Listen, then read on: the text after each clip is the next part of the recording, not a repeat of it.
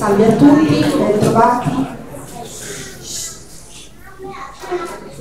Ci accomodiamo dove ci sono le sedie. Qui alla mia sinistra c'è il tavolo per chi volesse fare l'iscrizione alla nostra associazione consumatori Acque Marche. Allora, cominciamo con i ringraziamenti. Anzitutto ringrazio il dottor Paolo Pulisano, che è qui alla mia destra, che è venuto oggi a portarci la sua testimonianza, la sua esperienza e la conoscenza che ha maturato sul campo in questi mesi. Di che cos'è il Covid, cosa sono le cure, quali sono le terapie da adottare, gli errori da non commettere, le buone pratiche che ciascuno di noi può mettere in campo prima e durante l'eventuale malattia. Ringrazio i volontari del comitato Ora Basta Marche e Ora Basta Italia che hanno allestito la sala Chiara, Beatrice, Alfredo, che sono anche tra l'altro Alfredo e Beatrice cofondatori insieme a me e a Marco Gambini di questo comitato. Comitato che è nato un anno fa, a ottobre 2020, subito dopo la seconda ondata di provvedimenti liberticidi antidemocratici che ha vissuto il nostro paese. Mi riferisco ai DPCM dell'autunno 2020 questo comitato è nato proprio a Cittanova, la mia città, con una grande manifestazione che si è svolta il 27 ottobre dell'anno scorso, con più di 1200 persone in piazza, per lo più partite IVA, titolari di ristoranti, palestre, bar, le attività maggiormente colpite da quei PCM che dall'oggi al domani precludevano loro la possibilità di svolgere la propria attività lavorativa, professionale e di portare a casa quel, quel reddito che dovrebbe essere diritto di ciascuno di noi. Da allora ad oggi la situazione è peggiorata, allora eravamo pochi in piazza a lottare, a fare le azioni di obbedienza costituzionale, come la chiamiamo noi, cioè di disobbedienza civile in ottemperanza a quelle che sono le norme e i principi della nostra Costituzione. E se all'epoca erano colpite soprattutto le piccole, medie e micro imprese di alcuni settori, appunto la ristorazione, bar, ristoranti, ma anche del turismo e dello sport, poi via via questo che sembra più, sempre più essere un regime ha colpito pezzo dopo pezzo altre categorie la categoria dei giovani, dei bambini, degli studenti, costretti a delle situazioni in ambito scolastico che due anni fa avremmo giudicato tutti, tutti, non solo noi che siamo qui dentro stasera, ma anche chi è fuori, assolutamente disumani.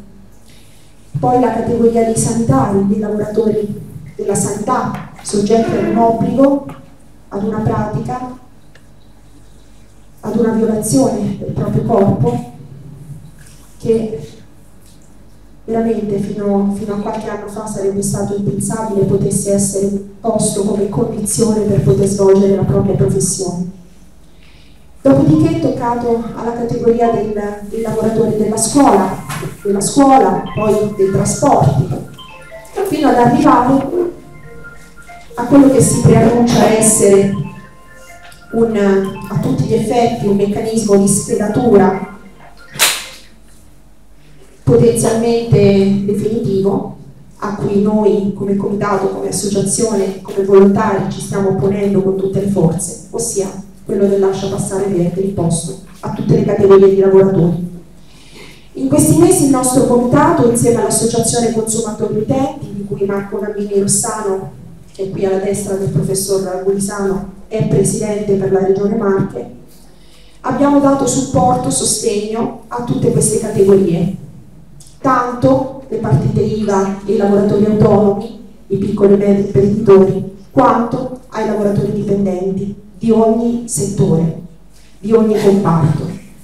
L'abbiamo fatto grazie ai volontari che si sono spesi gratuitamente, hanno speso il loro tempo, le loro energie, le loro intelligenze per, per dare supporto, indicazioni, aiuto, quanto con i nostri avvocati che allo stesso modo gratuitamente hanno aiutato tanto, vedo alcuni che annuiscono perché si sono interfacciati con delle persone d'oro che hanno messo la propria professione e le proprie competenze a disposizione dell'altro come è bene fare in una vera comunità. Perché questo stiamo costruendo noi, non stiamo lottando solo contro un sistema e un nemico molto più grande di noi, ma stiamo costruendo, ricostruendo dalle fondamenta, come si fa con un edificio, mattone dopo mattone, una nuova comunità, una società nella società, fatta di buoni principi, di buone azioni, di energie positive. E oggi siamo qui per mettere un altro importante mattone in questo nostro edificio, insieme al professor Paolo Bulisano, persona d'oro che io ho imparato a conoscere in questi giorni. Stamattina abbiamo fatto un altro bel convegno a San Benedetto del Tronto con il comitato di Ascoli Piceno e San Benedetto. C'è stato dato anche lì del filo da torcere, perché ieri la Digos ha chiamato una delle organizzatrici ben quattro volte, facendo pressione per sapere dove si sarebbe svolto il convegno, chiedendo di fare una comunicazione come se si trattasse di una pubblica manifestazione e chiedendo l'ottemperamento di tutte le regole sul Green Pass, su questa tessera verde. Ovviamente noi non abbiamo ceduto e grazie alla nostra rete di attività amiche questo è un altro progetto che il Comitato sta portando avanti, una rete di attività economiche, di persone che la pensano allo stesso modo, che si oppongono tutte al sistema e fanno rete tra loro, non solo a livello sociale o volontaristico, solidaristico, come ho detto poco fa, ma anche a livello economico. E quindi grazie alla nostra rete abbiamo spostato la sede dell'evento da un'altra parte. Nel giro di pochissime ore ci siamo riorganizzati e abbiamo fatto un bel convegno insieme a Paolo. Vi presento Paolo Gulisano, veniamo al dunque. Paolo è medico, epidemiologo, esperto di igiene e medicina della prevenzione. È anche docente universitario, ha insegnato eh, per qualche tempo all'università la storia della medicina, di cui è molto esperto le sue competenze non si esauriscono nell'ambito eh, della medicina, ma eh, vanno ben oltre. Paolo è anche uno scrittore, è un saggista, ha scritto romanzi fantasy, eh, genere di cui è anche critico, cultore, esperto e critico. Eh, ha collaborato, collabora tuttora con molte riviste, molte testate, è stato anche il responsabile di un eh, programma radiofonico presso l'emittente Radio Mater e ecco, non posso esaurire con una breve presentazione la descrizione di, di Paolo Pulisano perché insomma eh, lo capirete da soli, è una, una persona che è sulle stesse nostre lunghezze d'onda, è in risonanza con noi in tutto e, e oggi è qui per renderci partecipi delle sue esperienze, delle sue competenze. Infatti Paolo viene dalla Lombardia, una delle regioni, come sapete, la zona più colpita all'inizio della prima ondata dal, dal Covid. E è stato tra quei medici che senza lasciarsi intimorire, senza cedere ai diktat superiori che volevano un protocollo, volevano una distanza anche per loro professionisti dal malato, uno di quei medici che andava invece a casa dei malati a praticare quelle cure, quelle cure.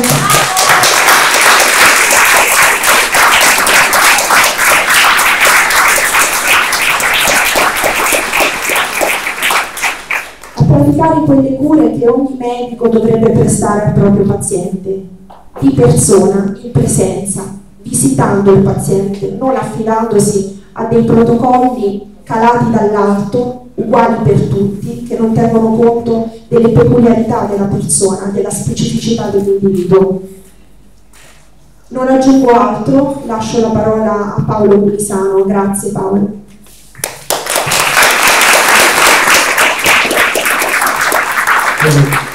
Ringrazio Beatrice Marinelli per questa introduzione così lusinghiera. Spero quindi di essere, di essere degno di, di questa presentazione. Innanzitutto vi ringrazio davvero di cuore per essere qua così tanti in una domenica pomeriggio e immagino che se siate qua è perché appunto cerchiate eh, come molti, non tanti, in questo momento chiedono, cercano, vogliono verità mm, su quello che sta accadendo, su, questa, su questo processo in atto da, dal febbraio 2020, che è un processo, potremmo definirlo tranquillamente, rivoluzionario. Stiamo vivendo in una rivoluzione, una rivoluzione che vuole cambiare profondamente non solo le strutture societarie, e non sono io a dirlo perché sono loro stessi, su, giornali mainstream come addirittura il Times dell'anno scorso che intitolava una copertina The Great Reset, il grande reset. No?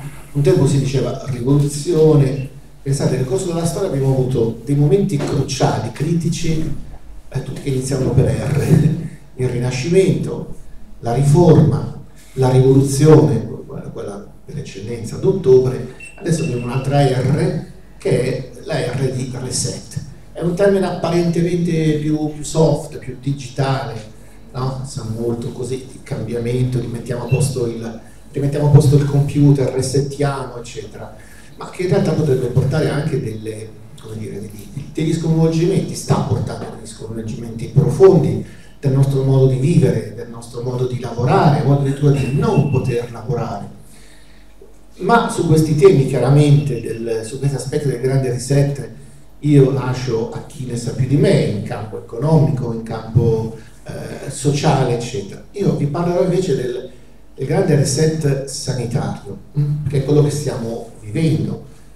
Io come medico sono anche francamente in imbarazzo nel vedere, appunto, mai avrei immaginato che la mia scienza, anzi la mia arte, la medicina non è una scienza esatta, la medicina non è come la fisica, come la matematica, eh, la medicina è una scienza empirica, ma è soprattutto, o perlomeno lo è stata per duemila anni, un'arte, l'arte del prendersi cura del prossimo. Mm?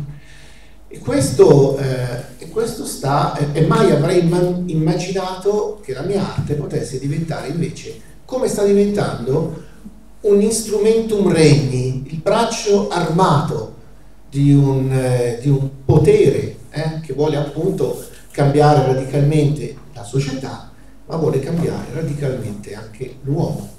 Questa è una delle rivoluzioni, la rivoluzione forse più preoccupante e spaventosa, perché vuole arrivare, e vedremo come, ad un cambiamento dell'uomo, del, dell'essere umano. Allora, mai avrei immaginato, perché appunto la medicina per come l'ho studiata io, per come ho sentito io fin da, fin da giovane, una sorta di chiamata, diciamo anche una parola grossa, ma sì, oggi non la uso bene, una vocazione a fare questo lavoro, a occuparmi del prossimo, a cercare di lenire le sofferenze del prossimo, ecco, mai avrei immaginato che poteva diventare invece un modo per infliggere eh, sofferenze. Eppure è quello che stiamo vedendo. Partiamo proprio da come eh, è stata coinvolta la medicina in tutto questo, perché qualcuno ha parlato anche di dittatura sanitaria, cioè stiamo vivendo una dittatura sanitaria, o meglio, una dittatura in nome della salute. E dice la salute è un bene importante, il bene supremo, non è il bene assoluto, c'è qualcosa di più importante anche della, de, della salute, che è la libertà, che è la verità dell'uomo. Quando queste cose sono offese è più importante che una mera salute in senso quasi proprio solo di sopravvivenza. Da un anno e mezzo in qua, quasi due ormai, anzi, vediamo invece persone che accettano ogni cosa in nome di che cosa? Non tanto davvero della salute, del benessere, che poi appunto è qualcosa di molto concreto e anche molto relativo, mm? perché alla fine dei conti tutti qualche malattia ce l'abbiamo, no? l'utopia del benessere assoluto che è qualcosa di molto pericoloso, Era un, eh, un enunciato dell'OMS anni fa, negli anni 90, l'Organizzazione Mondiale della Salute aveva lanciato questo, questo proclama Salute per tutti nell'anno 2000. Obiettivo evidentemente mancato, obiettivo utopistico e guardate che le utopie ecco, sono come dire, delle proiezioni della, della, della fantasia, delle speranze, sono a volte anche molto pericolose. Le utopie politiche in azione hanno creato i mostri ideologici del XX secolo. E qua siamo di fronte anche a un'utopia salutista ingannevole, cioè eh, la salute bene assoluto che deve essere conservata e quindi l'importante in questo momento, da un anno e mezzo ormai, è sopravvivere a tutti i costi, anche a costo di cedere quote importanti di libertà individuali, di diritti, perché l'importante è sopravvivere. Abbiamo assistito a qualcosa di assolutamente inedito. Io mai, io ho 62 anni. Ecco, tra l'altro apro una piccola parentesi. Vedo qua che più o meno mm, molti di voi sono della mia, della mia età, su per giù, vedo mm, evidentemente padre di famiglia, madre, eccetera.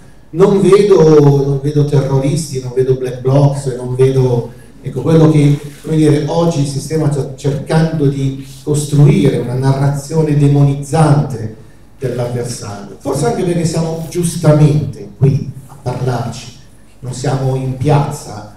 Io in questo momento, come dire, viste anche queste contingenze, viste certe strategie del potere, diffido delle piazze, quindi è molto meglio fare come hanno fatto gli organizzatori di questa manifestazione, essere qui seduti a parlarci, a cercare di capire, a cercare in qualche modo anche di informarci per poter affrontare meglio una situazione oggettivamente difficilissima. Quindi, dicevamo, torniamo al nostro discorso della salute, sì, come bene, assolutamente, ma non come un bene che giustifichi il, totale, il totale cedimento sul piano dei diritti, dei diritti civili, dei diritti umani, dei diritti costituzionali, eccetera. Però tutto questo lo stiamo vivendo. E perché?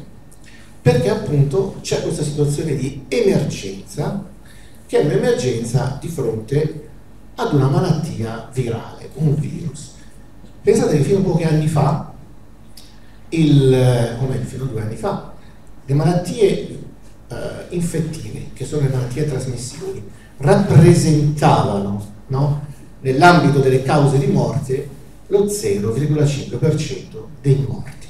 Si muore di tutt'altro morti per esempio per tumori sono in Italia ogni anno più di 250.000, un'ecatombe. Non è anche questa un'emergenza sanitaria? Però appunto non c'è nulla che faccia più paura della malattia infettiva, della malattia trasmissibile. Eh, Beatrice ricordava che io così ho la passione dello scrivere, anche su aspetti di storia della medicina. Nel 2006, 2006 quindi 15 anni fa, in tempi non sospetti, scrissi un libro, che adesso si trova solo nei bunker, un libro che si chiama Pandemie, perché io rimasi molto colpito da quello che era avvenuto nel 2005, anno in cui si era sparso il terrore, era stato sparso il terrore per l'epidemia incombente, anzi una pandemia, cioè un'epidemia mondiale incombente che avrebbe dovuto arrivare, non arrivò mai, che era dell'aviaria Ricordate? Il virus, l'influenza dei polli, l'influenza dei polli veniva detto, veniva proclamato, veniva comunicato sui media, sarebbe passata, c'era il salto di specie in arrivo, avrebbe colpito noi, avrebbe fatto, quantificavano addirittura i milioni di, di morti che ci sarebbero stati. Non ci fu nulla, non, non, non arrivò mai, così come non arrivò dopo qualche anno, nel 2009, l'influenza suina, anche qua vi ricordate, una pandemia annunciata, Qua in questo caso sarà stato fatto anche un passaggio ulteriore. Nel 2005 per la viaria era stato solo creato paura, sparso terrore, non c'erano state altre azioni. Nel 2009, magari qualcuno se lo ricorda, era stato anche preparato un vaccino, perché avevano detto arriverà, arriverà la suina, sarà devastante. Prepariamoci, prepariamo, guarda, le case farmaceutiche sono pronte, ci preparano il vaccino. Mm, ci furono poi, ovviamente non arrivò mai, anche questa fu una minaccia fantasma, l'epidemia non arrivò mai, in compenso ci furono dei grossissimi problemi anche di logistica nello smaltire centinaia di migliaia di dosi inutilizzate. Però evidentemente anche questo era stato forse un test. Vediamo cosa succede, vediamo se succede se spargo la paura, poi vediamo cosa succede se introduco un ulteriore step, un altro passo ancora, preparo, eccetera. Poi sono passati molti anni, non succedeva niente, malattie infettive continuavano a essere quelle che conosciamo, quelle che curiamo, quelle che anche io ho curato, io ho lavorato in servizi di prevenzione delle malattie infettive, no? Le malattie infettive che dovevamo tenere d'occhio erano l'epatite C, la tubercolosi che da noi era sparita ma ritornata anche con l'arrivo dei migranti che sono molto spesso il 45% dei casi positivi a TB, insomma queste erano le nostre erano quello che dovevamo affrontare e il resto scorreva con problemi eh, di salute che sono appunto i tumori, malattie cardiovascolari eccetera eccetera. Poi è arrivata l'epidemia per eccellenza, the big one, la chiamavano così anche gli epidemiologi negli anni scorsi, continuavano a dirlo, continuavano ad annunciarlo e io appunto lo segnalai in quel mio libro dicendo guardate che c'è questa, dire, c'è questa pressione psicologica, io rimasi anche molto colpito allora del fatto di quanto facesse paura l'idea della malattia trasmissibile. Perché rispetto alla malattia cronico-degenerativa ci sentiamo tutti tranquilli, no? Sì, succede, ma succede agli altri o anche altre malattie, altre cause di morte. Ogni anno ci sono in Italia 7.000 morti per incidenti stradali, ma tocca a quelli che sono imbranati, io sono una specie di Niki Lauda, a, a, a, nessuno può capitare, capita sempre agli altri, quelli che non sono capaci, eccetera, a noi no eh, le malattie cardiovascolari, ma sì è vero, io ho qualche fatto, io, io Paolo ho dei fattori di rischio, lo vedete, sono cicciottello, però magari da domani mi metto anche in dieta, poi smetto, oppure fumo, sì, però tra una settimana smetto di fumare e sono a posto. Insomma, verso la malattia cardiovascolare o la malattia cronico-degenerativa abbiamo sempre una specie di sensazione di essere immuni, ma verso la malattia infettiva. Ecco, la malattia infettiva ha, ha un impatto psicologico terrificante, perché la malattia mi viene trasmessa, e non è colpa mia, io per l'amor di Dio sono bravo e faccio tutto quello che devo fare, ma me la trasmette un altro, e l'altro è l'untore che me la trasmette e io purtroppo la prendo. E quindi su, questa, dire, su questi aspetti anche psicologici, su cui hanno lavorato molto a livello di certi poteri forti, sono quelli che stanno appunto adesso conducendo il gioco della pandemia, e apro una piccola parentesi, ma mi sembra significativa, eh, su questi aspetti psicologici, la, eh, il, il vertice italiano dell'azienda Pfizer, che fa i vaccini, voi pensate che questa dottoressa sia una specialista in virologia? No, specialista in epidemiologia, malattie infettive e specialista in psichiatria. Questa è la guida del Pfizer italiano. Quindi qualcuno che conosce molto bene gli aspetti, come dire, certi tipi di aspetti anche legati alla comunicazione, legati all'impatto, legati a quei meccanismi psicologici profondi che fanno scattare determinati allarmi, che fanno scattare diversi comportamenti, eccetera, eccetera. Quindi, dal febbraio del 2020, dalla fine di febbraio, è iniziata una narrazione catastrofista, come se fossimo appunto in un romanzo utopistico, distopico per le precisioni. Tra l'altro ribaltando immediatamente quello che era stato l'atteggiamento del governo nei primissimi tempi.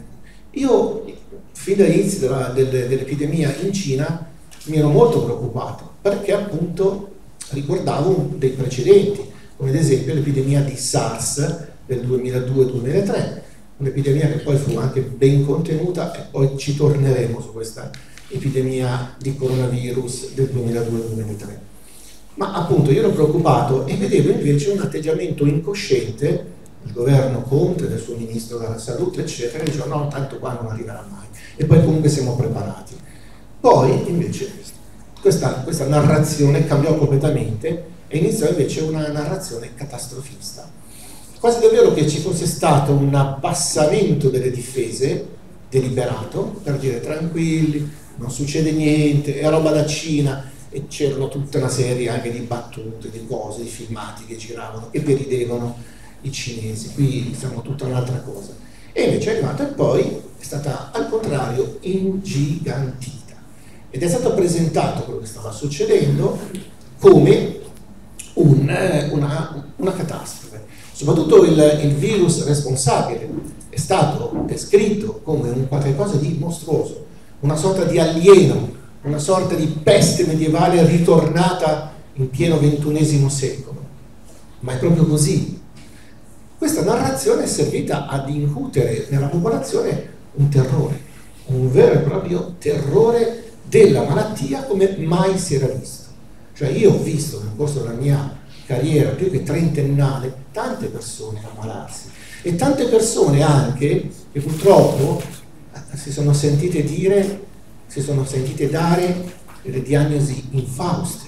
Quante persone ho conosciuto con tumori che poi li hanno portati a morte. Ma mai io ho visto anche persone con brutti carcinomi vivere col terrore, con questo terrore di, di morire, di soffrire, eccetera. Semmai io spesso ho visto una grande dignità nelle persone malate e magari una preoccupazione non tanto per se stessi, dice vabbè sì lo so, devo morire, ma magari la preoccupazione per chi resta, il marito, la moglie, i figli, eccetera. Qui invece un terrore spaventoso, individuale, per se stessi. Oddio, se mi ammalo, se finisco in, in, in rianimazione, se muoio, eccetera. Quindi questo tipo di terrore mai visto in, eh, in medicina, pur di fronte a malattie anche, anche gravi. Questa paura, questo terrore era giustificato? Io vi faccio, faccio parlare solo i numeri, non faccio commenti. Perché appunto una malattia, noi di una malattia, di ogni malattia, valutiamo non soltanto la mortalità, che è il tasso di morti sulla popolazione, eccetera.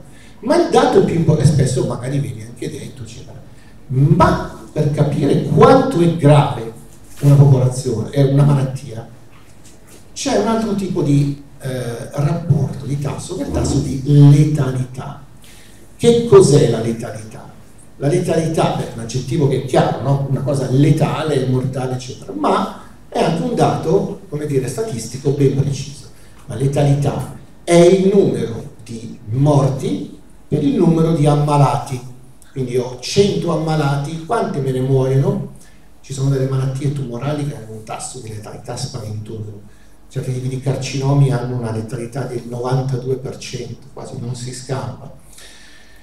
Ci sono malattie più, più leggere, meno letali, per esempio l'influenza stagionale determina una letalità dello 0,25%, 0,2-0,3%, appunto l'influenza ha questo tipo di letalità, un 0,2 del 2,5. Qual è la letalità del Covid?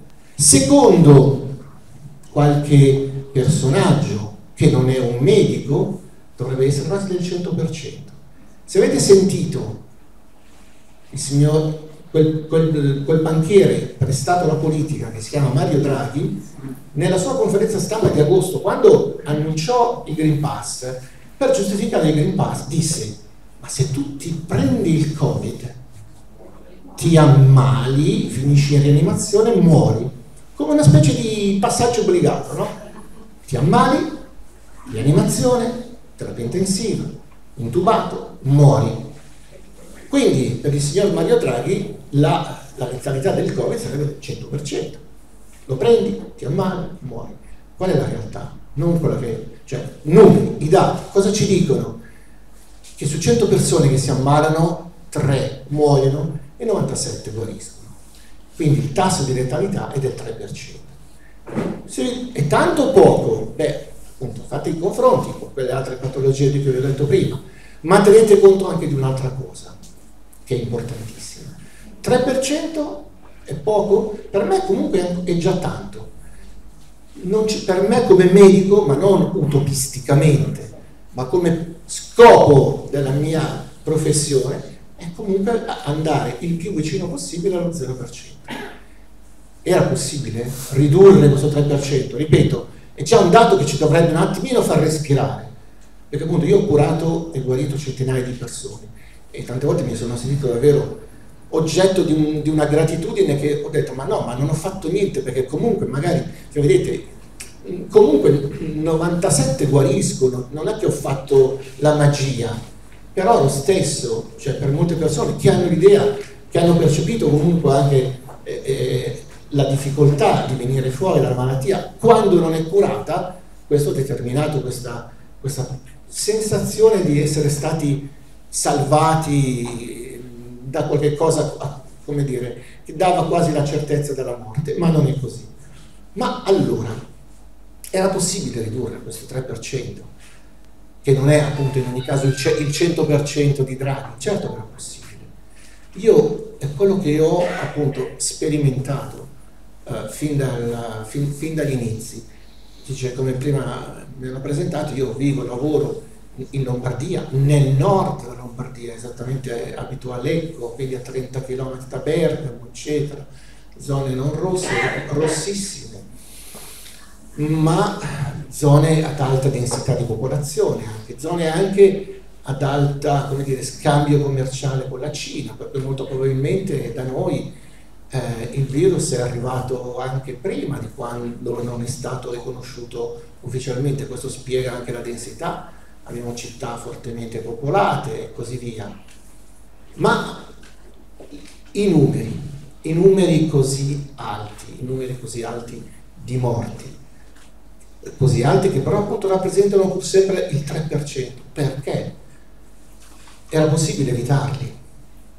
Sì, ed è, come dire, da una parte mi fa piacere da medico dirlo che si potevano evitare, però dall'altra parte ho una come dire, un dolore, una rabbia nel dire che non è stato fatto quello che poteva essere fatto. Non, si poteva salvare molte più vite se non si fossero seguiti praticamente dei protocolli di abbandono terapeutico. Per anni abbiamo sentito parlare di accanimento terapeutico, no? Io francamente non ho mai visto l'accanimento terapeutico sui malati, anzi molto spesso, ma in questo caso noi abbiamo assistito come in un esperimento, purtroppo, questo vi dicevo c'è un grande reset anche della medicina, abbiamo assistito all'abbandono terapeutico, al non curare. E paradossalmente, proprio da un episodio di abbandono terapeutico, è iniziato il mio lavoro di medico che cura. E vi dico, vi porto proprio la testimonianza dell'episodio. Io appunto facendo nella vita un altro lavoro, occupandomi soprattutto di prevenzione, non ero nelle corsie, non ero eh, in ospedale, lavoro sul territorio occupandomi appunto di, di prevenzione. E tra l'altro occupandomi da quattro anni, anzi quattro anni che sono finiti nei giorni scorsi perché nei giorni scorsi mi sono licenziato e adesso inizierò tra una settimana un nuovo lavoro, mi occupavo in particolare nell'ambito della prevenzione di vaccinazioni. Quindi sono anche un esperto di vaccinazioni, cosa che in questo momento mi è molto utile per giudicare, poi appunto parleremo anche di, di vaccini, ma ripeto, io non ero sul campo, non ero nelle corsie, eccetera. Però da medico dicevo qui se posso fare qualcosa lo faccio volentieri. E per prima cosa mi sono documentato. Vediamo, ma è possibile che non si possa fare niente, che non si possa curare? Possibile che nel 2020 si debba morire così come mosche per polmonite? E allora sono andato a documentarli. E avendo anche il senso della storia, cosa che è importante, appunto prima Beatrice ricordava, alcuni anni ho insegnato all'Università di Coppia di Milano storia della medicina, la storia è magistra vite, è vero, il maestro ti insegna. E allora sono andato a, mi sono domandato, nel 2002, ricordandomi che come vi dicevo prima, nel 2002-2003 ci fu un'epidemia di SARS-CoV-1 la prima epidemia di SARS, SARS è una sigla inglese che vuol dire insufficienza respiratoria acuta, cioè questa è la manifestazione clinica. Che cosa determina quella, questa sindrome? Cioè una serie di, di, sintomi, di segni, eccetera, che poi conducono all'insufficienza respiratoria acuta. Un virus, il coronavirus, noi conosciamo il coronavirus dagli anni 60, sono stati scoperti degli anni 60, sono virus innocui, è il virus del raffreddore, ma appunto nel 2002 arriva uno strano coronavirus mutato, grave, che provoca polmoniti. Ci fu anche un, un grande medico, Carlo Urbani, che per studiarlo perse la, la sua vita allora, che era partigiano, tra l'altro. Quindi, ma il virus venne sconfitto in circa poco più di un anno. Arrivò all'inizio del 2002 alla fine del 2003 era già scomparso. Come altre epidemie del passato. La spagnola, la terribile spagnola, spesso evocata, questa influenza che fece nel, 2000, nel 1918-19 70 milioni di morti, arrivò all'inizio del 18, alla fine del 19 era già sparita. Sparita e non tornò mai più, come appunto non era più tornata la SARS. Ma appunto l'anno scorso SARS-CoV-2, cioè da un secondo coronavirus. E allora mi sono fatto una domanda molto logica, ma nel 2002 quando ci furono in tutto il mondo poche migliaia di morti, come avevano fatto a combatterla, affrontarla, sconfiggerla? Con farmaci. E andai a vedere, per curiosità, per capire di più che farmaci avessero usato. E c'era tra i farmaci usati un farmaco usato da tempo, conosciuto da tanti anni, l'idrossiclorochina che era stata usata per la malaria, poi per l'artrite reumatoide, eccetera.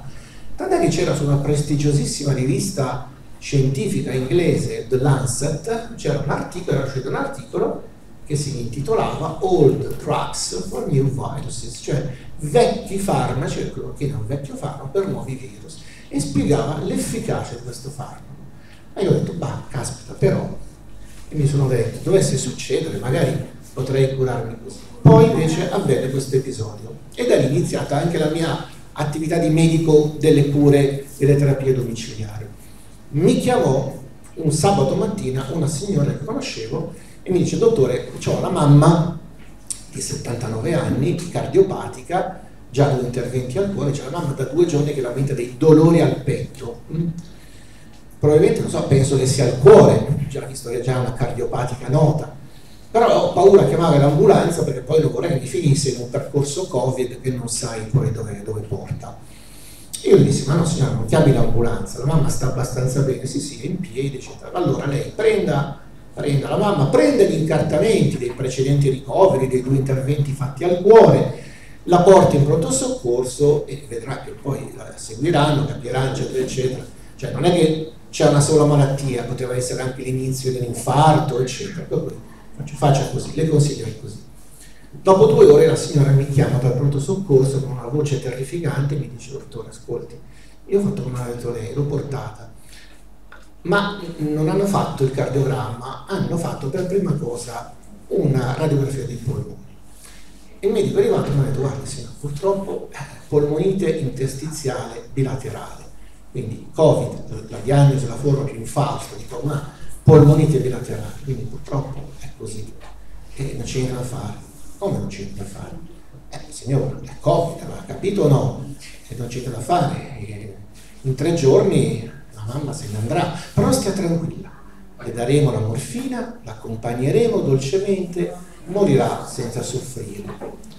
Allora, questa signora mi dice questo, mi racconta questo e a me sembrava, allora, uno, eh, la sensazione di stare parlando con una persona che aveva ricevuto una sentenza di morte, no, una condanna a morte, cioè, cioè condannata, non, non, possiamo fare nulla, eh, l'accompagniamo però. E, e, dall'altra parte mi sembrava impossibile, dice, ma proviamo a combattere, proviamo a fare qualcosa, non puoi non fare nulla, solo accompagnare e preoccuparti come prima e unica preoccupazione che non soffra e tra parentesi in seguito altre volte mi sono sentito dire questo, cioè eh sì lo zio è morto, però mi hanno detto che non ha sofferto, ma chi se ne frega, preferisco soffrire e vivere, no? e sopravvivere, si paga un piccolo prezzo di, in termini di sofferenza, cura, eccetera, ma vivere, no? Non ha sofferto. Allora, quindi questo fu quello che le dissero. E dice, dottore, cosa faccio? E io non ebbi dubbi, gli disse, guardi signora, firmi e la porti a casa la porti a casa, la curo io. Io non le prometto niente, però se va male, tanto l'avevano già condannata a morte, per cui non abbiamo niente da perdere. Se va male, però perlomeno muore a casa, muore tra le braccia dei suoi cari. Se invece va bene, e andò bene. Questa signora è viva ancora oggi, è viva e vegeta, e guarì nell'arco di una settimana. Che cosa gli diedi? Cioè la curai e la guarì con 20 euro tra idrossiclorochina, ehm, brufen, ehm, eparina e l'antibiotico azitromicina e un po' di ossigeno appunto per mantenere alta la, la saturazione e dare il tempo di agire ai, ai farmaci. Guardate, questa cosa mi fece capire due aspetti importanti.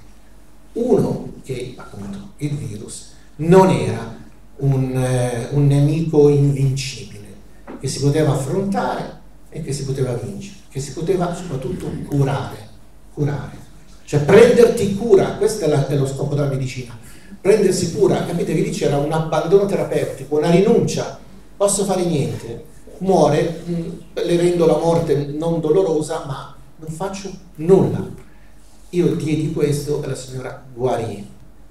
Ma l'altra cosa inquietante, che come dire mi, mi fu chiara dalla, da questo episodio, è che evidentemente allora, o c'erano degli errori da parte eh, della, del sistema sanitario, cioè eravamo di fronte a un sistema sanitario che rinunciava a curare, no? Oppure eravamo davanti a un disegno preciso, di tipo, diciamolo pure, eugenetico. Quella era una forma di eutanasia. Sei, comunque sei comunque fragile. Ed esistevano, esistevano delle, dire, dei punti di riferimento non dei protocolli scritti, no? però c'erano dei punti di riferimento, erano dei documenti anche della Società Italiana di Anestesiologia che diceva in caso di iperaffollamento bisogna fare selezione, parlava proprio di selezione, eh, tu sì, tu no. Mm, su quali criteri? Paradossalmente è un criterio anche di, eh, di gravità, che è esattamente il contrario. Se, una pers- se c'è una persona grave, una persona meno grave, prima curo quello più grave, me lo devo salvare. Se una persona anziana e una più giovane, mi do da fare per salvare l'anziano che è più a rischio. E invece no, qua era una sorta di selezione. Eh, non ti ammetto neanche ad, un, ad una terapia più forte, a, no, ma non dico la terapia intensiva, ne manco alle terapie, ad avere un antibiotico, ad avere... Io poi ho avuto conferma che questo episodio non era isolato, non era, era capitato a me di venirne a contatto in questo modo, ma poi ho scoperto che è stata una pratica ampiamente diffusa, una selezione e quindi un'assenza terapeutica. E allora mi sono drammaticamente, da una parte è stato un episodio duplice, da una parte anche, come dire, la, la, la soddisfazione di scoprire che si poteva fare qualcosa, no? Dissi, ma allora si può fare. Avete presente quell'episodio di Frankenstein Junior?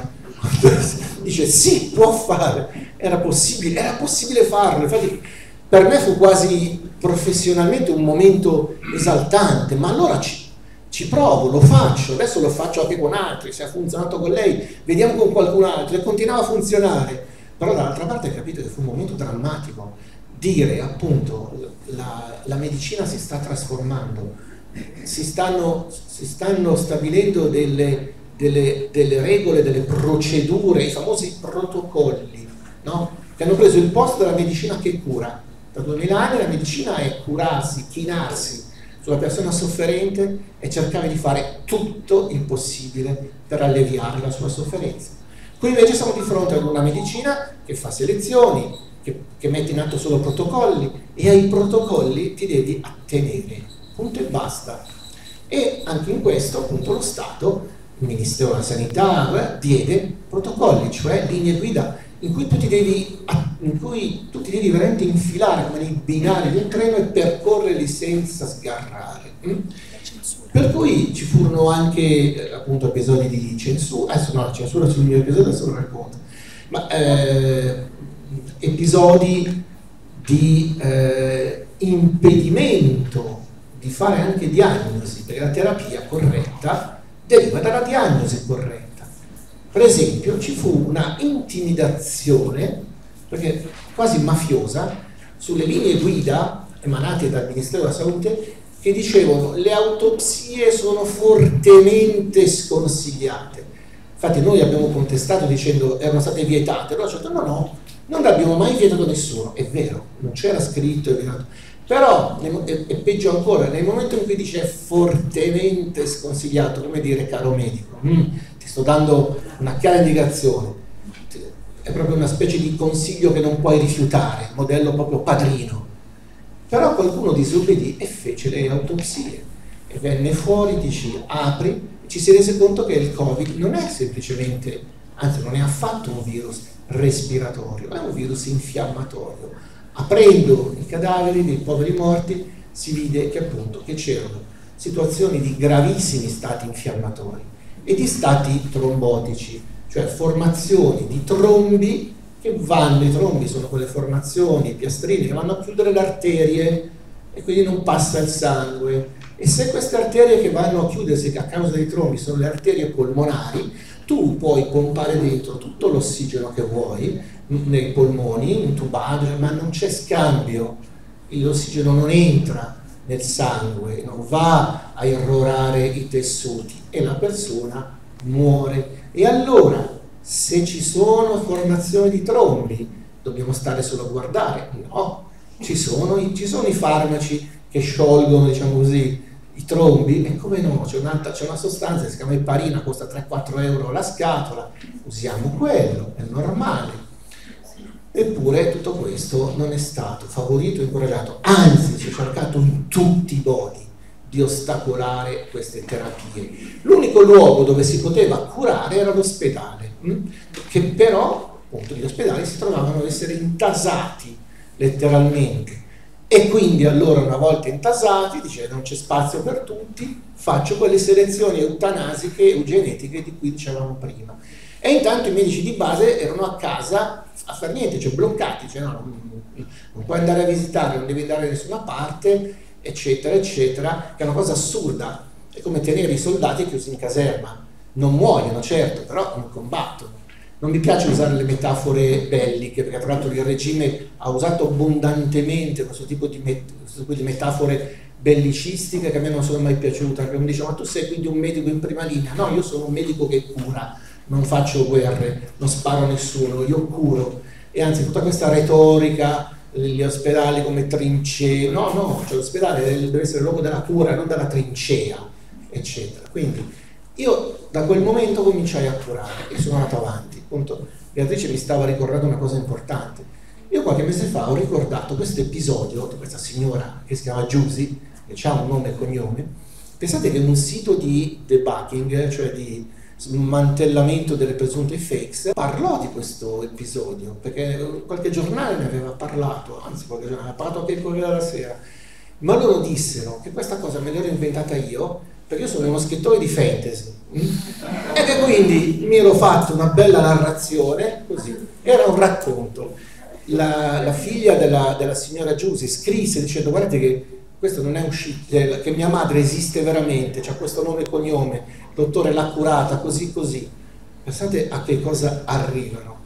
oppure ti censurano. Appunto qualche mese fa raccontai in, una manifestazione in piazza a Varese, a Lombardia, quello che era successo e poi a sorpresa, eh, io non lo sapevo neanche, eh, la signora Giuse era lì, era lì presente, era tra tra, nella piazza e a un certo punto si è fatta avanti, la figlia l'ha portata lì, io avevo finito di raccontare come ho raccontato voi e venne su sul palco mh? a testimoniare con la sua presenza che era successo così, che lei c'era, che lei era stata curata, che lei era guarita. Sapete che questa cosa è stata filmata e messa su YouTube, dopo dieci minuti che sarà su YouTube è stata rimossa, censurata. Cioè pensate tutta la, l'immondizia che c'è in, su, su, sui social YouTube. Io non, non, avevo detto niente, non avevo offeso nessuno, avevo solo parlato di questa persona, avevo parlato di una guarigione. Perché rimuoverla? Non ce l'avevo con nessuno, però appunto non andava detto, non andava mostrata quella signora che era la prova vivente che curare si può.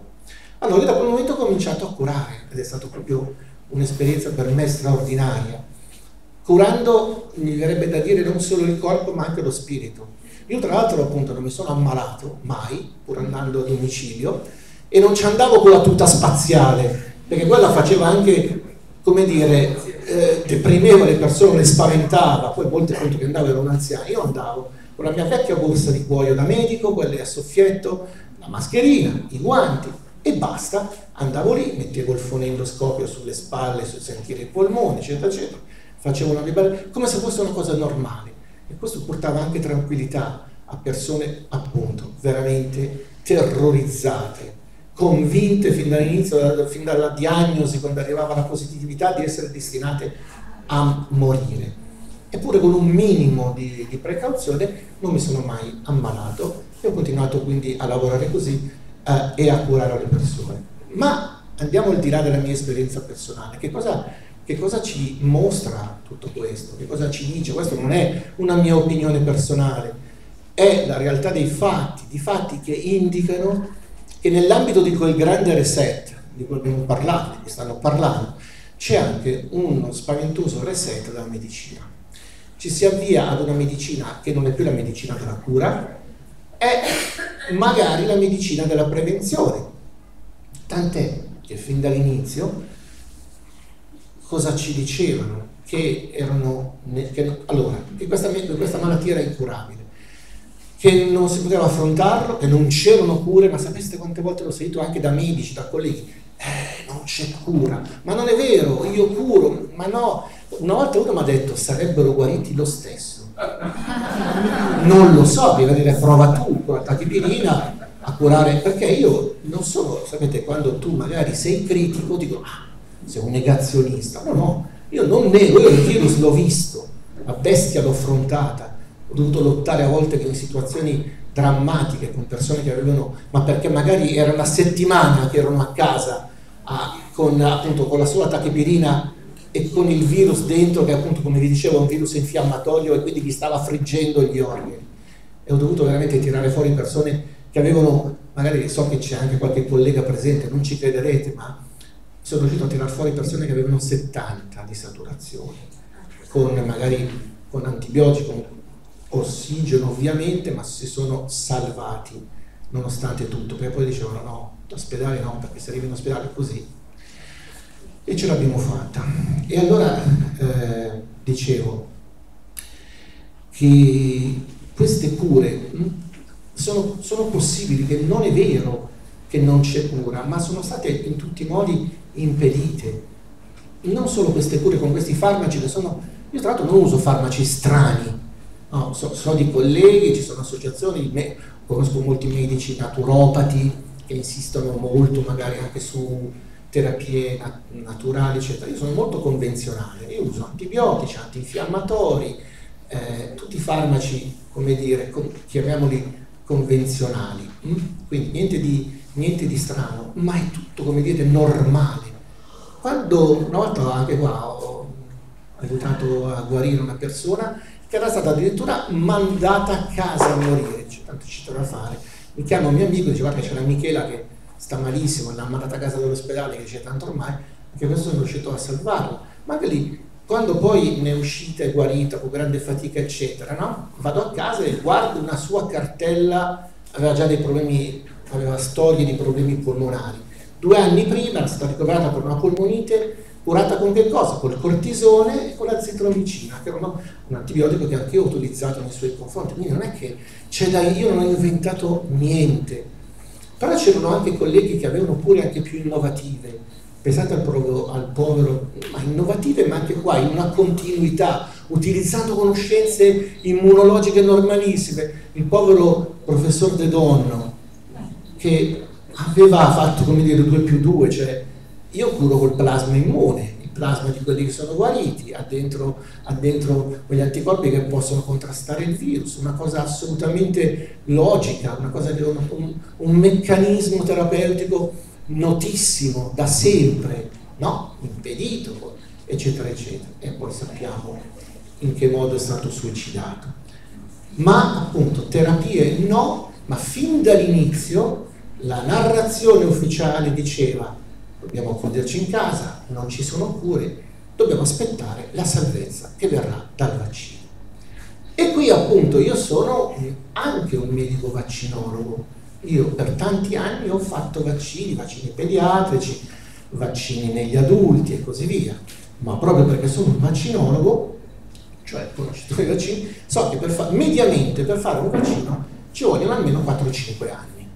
Quindi quando io mi senti, sentii, lessi, sentivo annunciata l'unica salvezza è il vaccino, ero perplesso, perché dicevo, ma allora, innanzitutto non è così scontato riuscire a fare un vaccino, perché per fare un vaccino ci vuole un sacco di tempo, perché devi fare tutta una serie di passaggi, devi fare una serie di step, devi fare prove, test di efficacia e sicurezza.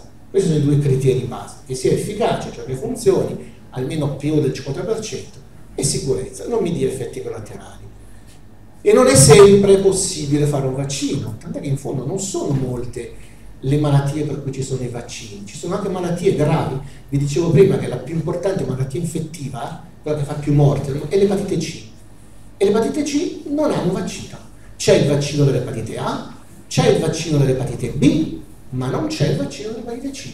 Non so, la conosciamo da tanti anni, da 40 anni, ma non c'è il vaccino. Non sono mai riusciti a farlo. Non è che data una certa malattia, op, ecco fatto il vaccino non c'è mai stato un vaccino per l'AIDS, guarda, una malattia che è imperversa da 40 anni, ha fatto milioni di morti. Il, la tubercolosi, c'era una volta un vaccino ma non funzionava, dava troppi effetti collaterali, non, eh, non, eppure la tubercolosi per esempio nei paesi, nei paesi africani eccetera crea anche qua decine, centinaia di migliaia di morti, perché non hanno mai fatto un vaccino antitubercolosi? Perché non sempre si può fare il vaccino, eh, non è così scontato. Poi la mia perplessità era dovuta al fatto anche che non sono mai stati fatti vaccini per il coronavirus, li conosciamo da 60 anni, non è mai stato fatto. Nemmeno nel 2002-2003, la famosa SARS, no?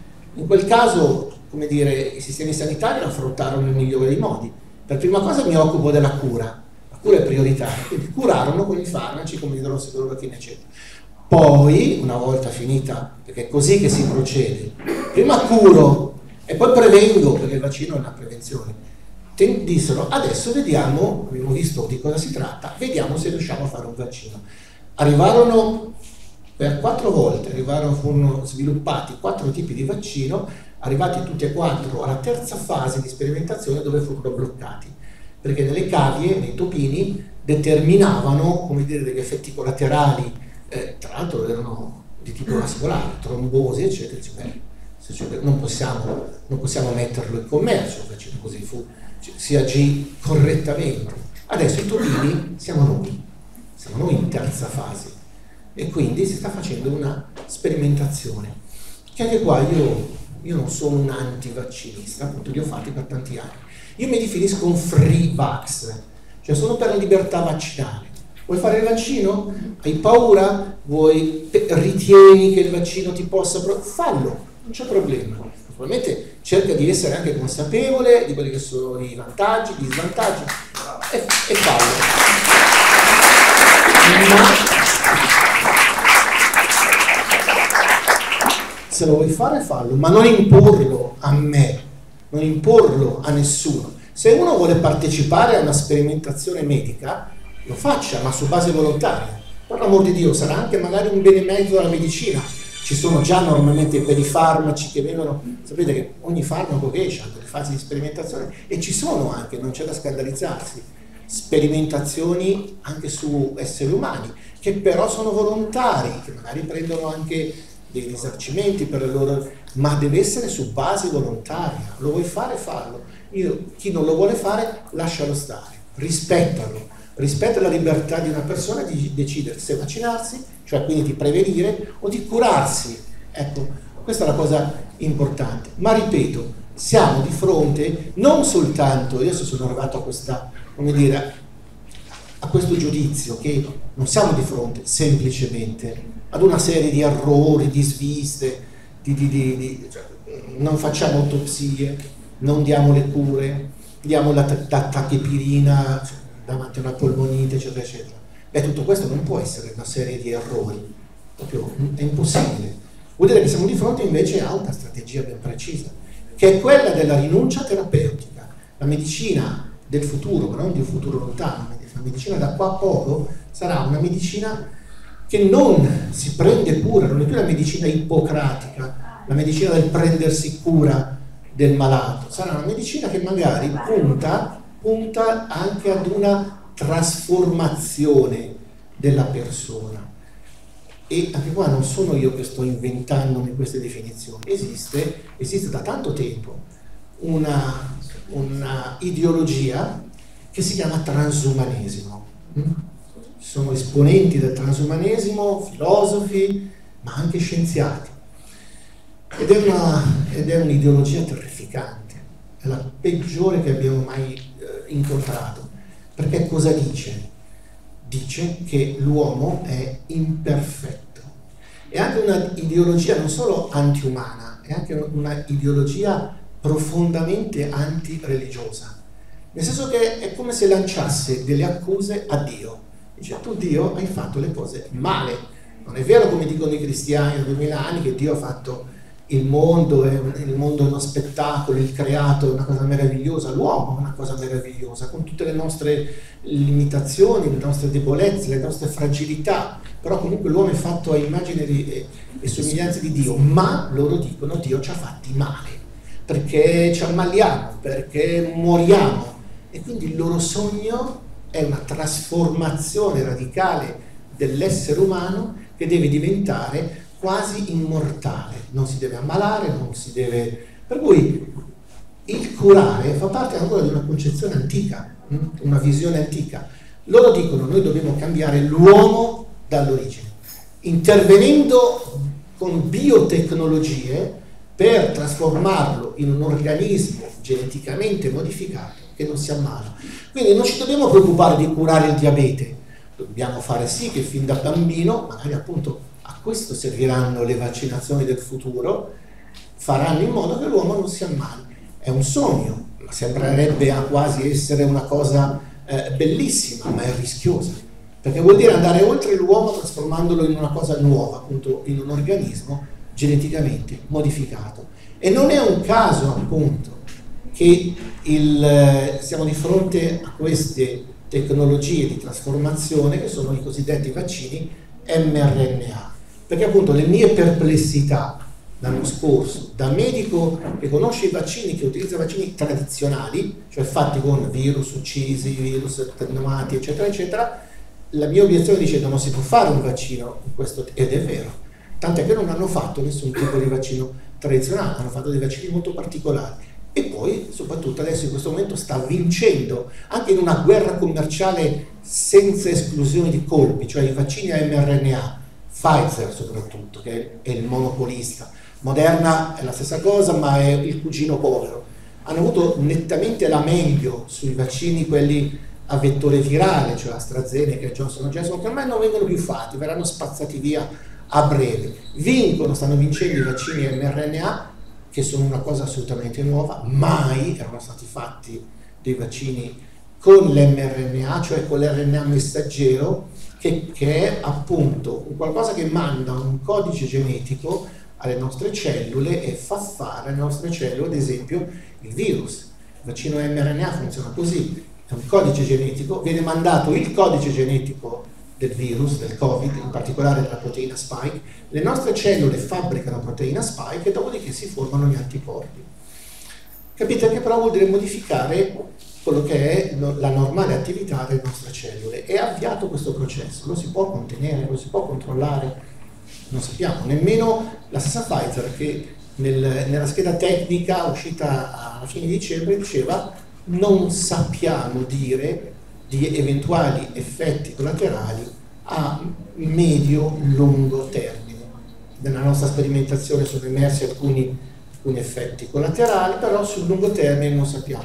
Poi addirittura Pfizer, in tutta onestà, diceva anche delle cose che poi sono state superate dai protocolli, perché Pfizer diceva il nostro vaccino non si può fare in gravidanza e neanche in allattamento, mentre adesso le, le, le decisioni politiche hanno portato a farlo, lo fanno anche alle gravide, quindi ha superato anche quella che era la stessa, dire, la stessa indicazione del, del, della ditta produttrice. Quindi queste, quello che è in corso è anche un esperimento per vedere cosa succede con queste tecnologie a RNA messaggero e queste tecnologie a RNA messaggero potranno essere usate anche in futuro per altri tipi di vaccini e di farmaci, che saranno appunto prodotti che portano a una modificazione genica. Quindi io ho molta preoccupazione rispetto a questo tipo di mh, azioni terapeutiche, terapeutiche appunto non sono terapie, non curano il malato, modificano l'organismo in modo appunto che non possa magari venire una determinata malattia, eccetera. Ma sono molto preoccupato proprio anche per la visione che ci sta dietro. E la visione, e allora diventa tutto chiaro, l'abbandono terapeutico, non ti preoccupare più di curare. Cioè si fa anche una, una vera e propria selezione darwiniana. Eh, soccombono i, i deboli sopravvivono i più forti e poi dopo appunto sui sopravvissuti e su anche magari le, le nuove generazioni vediamo di operare modificandole e questo spiega anche il perché vogliono a tutti i costi arrivare alla vaccinazione dei bambini che di per sé non ha senso, non ha valore perché prima vi dicevo all'inizio che il tasso di letalità è del, è del 3% in generale Guardando dentro però questo 3% si vede che il 99% di questo 3% è persone di morti superiori a 50 anni. Qual è il tasso di letalità delle persone sotto i 20 anni? È dello 0,00032.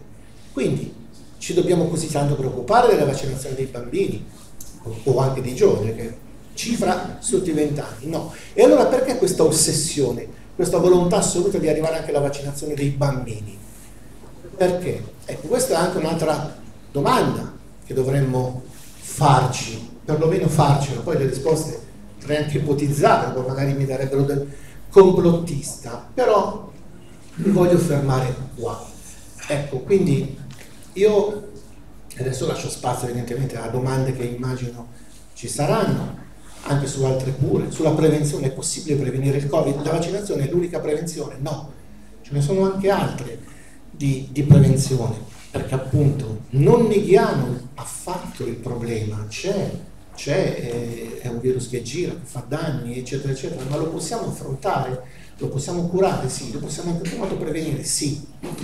L'unica cosa che dobbiamo fare però in questo momento è veramente tenere gli occhi aperti perché io vedo sempre più una società anestetizzata, ehm, quasi lobotomizzata, che assume assolutamente, in maniera assolutamente acritica tutto quello che viene detto dal, dal mainstream, che non si pone domande anche appunto quasi di tipo logico. Io mi è capitato a volte davanti a genitori che venivano magari a vaccinarsi, a vaccinare i bambini per altri motivi, che sono antititanici, eccetera. Quando posso fare il bambino di 12 anni? No? Quando posso fare il vaccino anti-Covid? Ma anche mai, l'ho detto, non è necessario. Non si ammala il bambino e se si ammala, cioè si può ammalare, certo, ma la fa in una forma leggera, non è necessario, perché non sente parlare di effetti collaterali. Cioè, vedo gente che viene giù dalle nuvole e pensa appunto che il vaccino debba essere fatto. Poi prima, la prima fase erano questi tipi di persone, quelli che lo volevano proprio per convinzione, cioè eh, il vaccino è utile, protegge, ma protegge da che? Non, non si ammala, non, non, non, muore, non succede niente. Adesso invece altro, ci sono altre giustificazioni. Mi sono sentito genitori dire, eh, mia figlia ha 13 anni, la vaccino perché deve giocare a pallavolo. Ho capito, ma e se poi è più importante la pallavolo qui e ora o magari qualche cosa in futuro, danni magari anche all'apparato riproduttore. Io sto ricevendo segnalazioni da, da colleghi che vedono veramente, mh, che mi segnalano tantissimi casi di disturbi del ciclo di donne vaccinate. Oppure un mio amico in cui ho una fiducia totale, una persona di, di grandissima rettitudine e onestà che lavora in una casa di riposo mi ha detto Paolo, ho visto una signora di 78 anni vaccinata a cui è tornato il ciclo. È tornato il ciclo. Cioè che cosa c'è dentro, capito? Un'altra, peggio ancora, dice un'altra signora di 82 anni che infatti dice è stata, ha avuto uno shock, ha dovuto essere curata per lo shock, perché la mattina si è svegliata col seno gonfio e veniva fuori il latte. Cioè, quindi qualche cosa, io ripeto, vi cito una, un medico di grandissima, come dire, rettitudine di cui mi fido se mi dice che ha assistito a questi episodi. Per cui c'è un antico principio della medicina che dice primum non nocere. Se non sono sicuro, aspetto a farlo, aspetto a...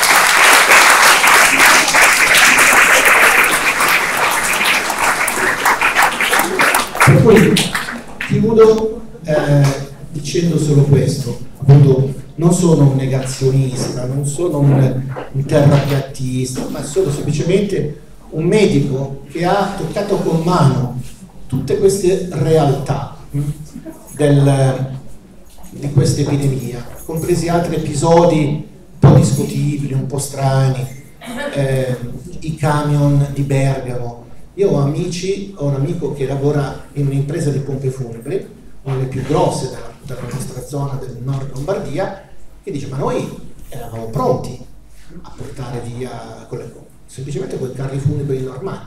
Ci avevano detto no, no, no, ci pensa l'esercito. Per cui quelle, quelle, scene che davvero da guerra psicologica, da propaganda, camion che attraversavano il centro di una città a 30 all'ora, l'ordine era di andare lenti e di farsi vedere, attraversando il centro della città quando l'ospedale di Bergamo è alla periferia, è fuori, è vicino a una sorta di tangenziale e da lì potevano anche andare appunto ai cimiteri, anzi ai forni crematori. Per cui perché attraversare la città rombando, eccetera, eccetera, lentamente, per farsi vedere, per terrorizzare? Quindi io voglio terminare questo mio discorso, anche se mi rendo conto che lo scenario tracciato è veramente inquietante, con un appello alla speranza ad avere lo, ste- lo so, è difficile perché vediamo tutto veramente andare male, ma non dobbiamo vivere. Allora, in questo momento noi siamo oggettivamente oppressi, oggettivamente. Ma c'è un grande scrittore inglese che io amo molto, che si chiama Chesterton, che diceva: è terribile essere oppressi, ma è ancora più terribile essere depressi. Quindi non dobbiamo cedere alla depressione, non dobbiamo cedere alla rassegnazione, dire stanno andando così le cose, cioè lo so che è così, ma, ma è bene conoscere quello che, i fatti, è bene conoscere l'antagonista. E abbiamo di fronte un potere terribile, un potere che appunto potrebbe anche avere dei progetti a lungo termine, non solo, beh, dice Big Pharma si arricchisce, eh no, ma c'è dietro qualcosa di molto più terribile. Se è vero che questi prodotti igienici possono interferire con la fertilità. Vi rendete conto che tra 20-30 anni potremmo essere di fronte anche ad un collasso demografico dell'umanità? Ma è quello che vogliono. Qualcuno l'ha detto esplicitamente, il signor Bill Gates e altri, dice la Terra, perché poi si, si, tutto questo si collega anche al discorso dell'emergenza ambientale, che in questi giorni sempre Draghi dice l'emergenza ambientale. Per cui, ecco, eh, siamo in troppi, eh, inquiniamo, produciamo CO2, eccetera, eccetera. Quindi se c'è uno sfoltimento c'è tutto da guadagnare. Ecco, quindi questi potrebbero essere i disegni ancora più inquietanti. Però nonostante tutto, per cui è bene conoscere il male, il vero medico è quello che fa diagnosi, che non che dice facciamo finta che va tutto bene. No, no, andiamo a vedere qual è il problema, andiamo a trovare, a scovare il male e curiamolo. Quindi cerchiamo soprattutto di vivere con fiducia, senza arrenderci, senza cedere alla depressione. Tra l'altro la depressione incide fortemente sul sistema immunitario, quindi ci abbassa le difese e invece in questo momento dobbiamo essere preparati, pronti. Il Vangelo dice, e tra l'altro ormai il Vangelo ne hanno fatto strame anche del Vangelo, perché adesso il vero Dio è il vaccino e qua purtroppo davvero lo dico da credente, io sono cattolico credente, ma cioè, anche qua sto assistendo con dolore alla, al venir meno del ruolo della Chiesa, che quello appunto dovrebbe essere quello di incoraggiare. Io vengo da, da una...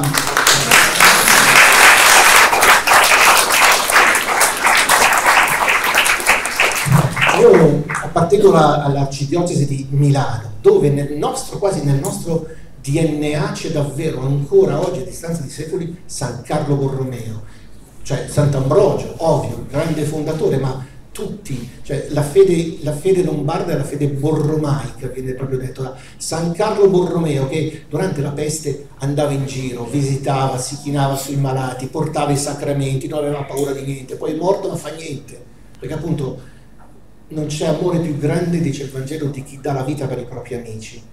Invece appunto abbiamo assistito a, al collasso della, della Chiesa e qua mi spiace dirlo, ma è così, con un Papa che si è adeguato pienamente alla narrazione.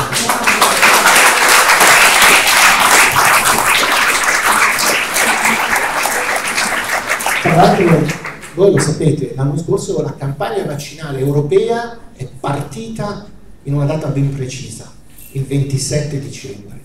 In, realtà, in tutta Europa questo, questo fu il Vaccination Day, era una domenica, iniziò quel giorno lì la vaccinazione contro un altro di paesi Europa. In realtà ci fu un problema proprio tecnico che impedì di, di iniziare invece nel giorno che i, i burocrati, gli eurocrati volevano, volevano iniziare la campagna vaccinale il 25 dicembre. Era proprio anche, come dire, simbolico, sostituire al Dio cristiano il Dio vaccino. E, però appunto, anche se ci fu questo slittamento, appunto purtroppo Bergoglio nell'omelia di Natale arrivò a dire sta arrivando dopodomani inizierà la campagna e poi dice è l'omelia di Natale parla di, del Natale e invece disse tra due giorni inizierà la campagna vaccinale arriva il vaccino luce e speranza così lo definì. Cioè una cosa terrificante. Cioè due aggettivi che sono nostro, che possono riferirsi solo al nostro Signore non ad un prodotto farmaceutico quindi purtroppo è in corso anche questo, anche questo questa implosione della Chiesa. E allora io dico, e lo stanno già facendo gli amici come Beatrice, come Marco, ricostruiamo comunità, ricostruiamo comunità dal basso. Infatti stanno nascendo realtà economiche, scuole parentali. Io dico dovrà anche nascere una, una sanità parentale, una chiesa parentale, dal basso proprio visto che c'è questo, questo, collasso invece istituzionale, con la Chiesa appiattita completamente sulle direttive, sulle direttive dei poteri forti. E allora, amici, partiamo davvero, ripartiamo dal coraggio, non la ripartenza di cui parlano Draghi, eccetera, ma una ripartenza umana, una ripartenza spirituale, una ripartenza appunto del, delle nostre comunità, salviamo l'umano che c'è in noi, appunto le minacce del transumanesimo, di diventare, di diventare organi geneticamente modificati, una religione che non crede più in Dio, che lo sostituisce con un farmaco, eccetera. Respingiamo tutto questo e restiamo umani. Grazie.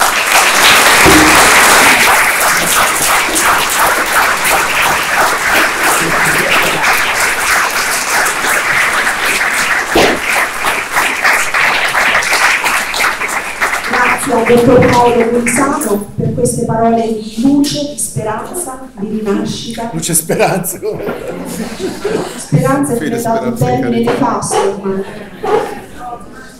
Allora Paolo, ci sono alcune domande, inizio io, poi intanto le persone qui presenti che volessero farle si possono avvicinare, così diamo il microfono in modo che ascoltano, eh, sentano tutti. Allora, parto subito con le domande, quelle un po' più difficili Paolo la vaccinazione. Purtroppo anche qui in questa sala, io lo so perché noi abbiamo raccolto anche le problematiche di, di tanti e anche i momenti di sconforto. Qualcuno ha dovuto cedere alla vaccinazione per motivi di lavoro, per motivi più vari. La domanda che più frequentemente ci viene rivolta, cosa possiamo fare per depurarci, per avere meno conseguenze possibili da questa vaccinazione anomala, diciamo, no? no? rispondo subito molto volentieri, perché appunto io ormai sto affiancando alla cura dei malati Covid la cura eh, di chi appunto sta avendo delle, de, delle reazioni post-vaccinali e li curo volentieri, perché eh, io non ho nessuna intenzione di fare come i miei colleghi eh, di regime che dicono ah io i Novax non li curo, mm. che è una cosa pazzesca, è una cosa disumana, perché appunto noi medici pronunciamo il giuramento di Ippocrate, in base al quale ci impegniamo a curare tutti, indifferentemente...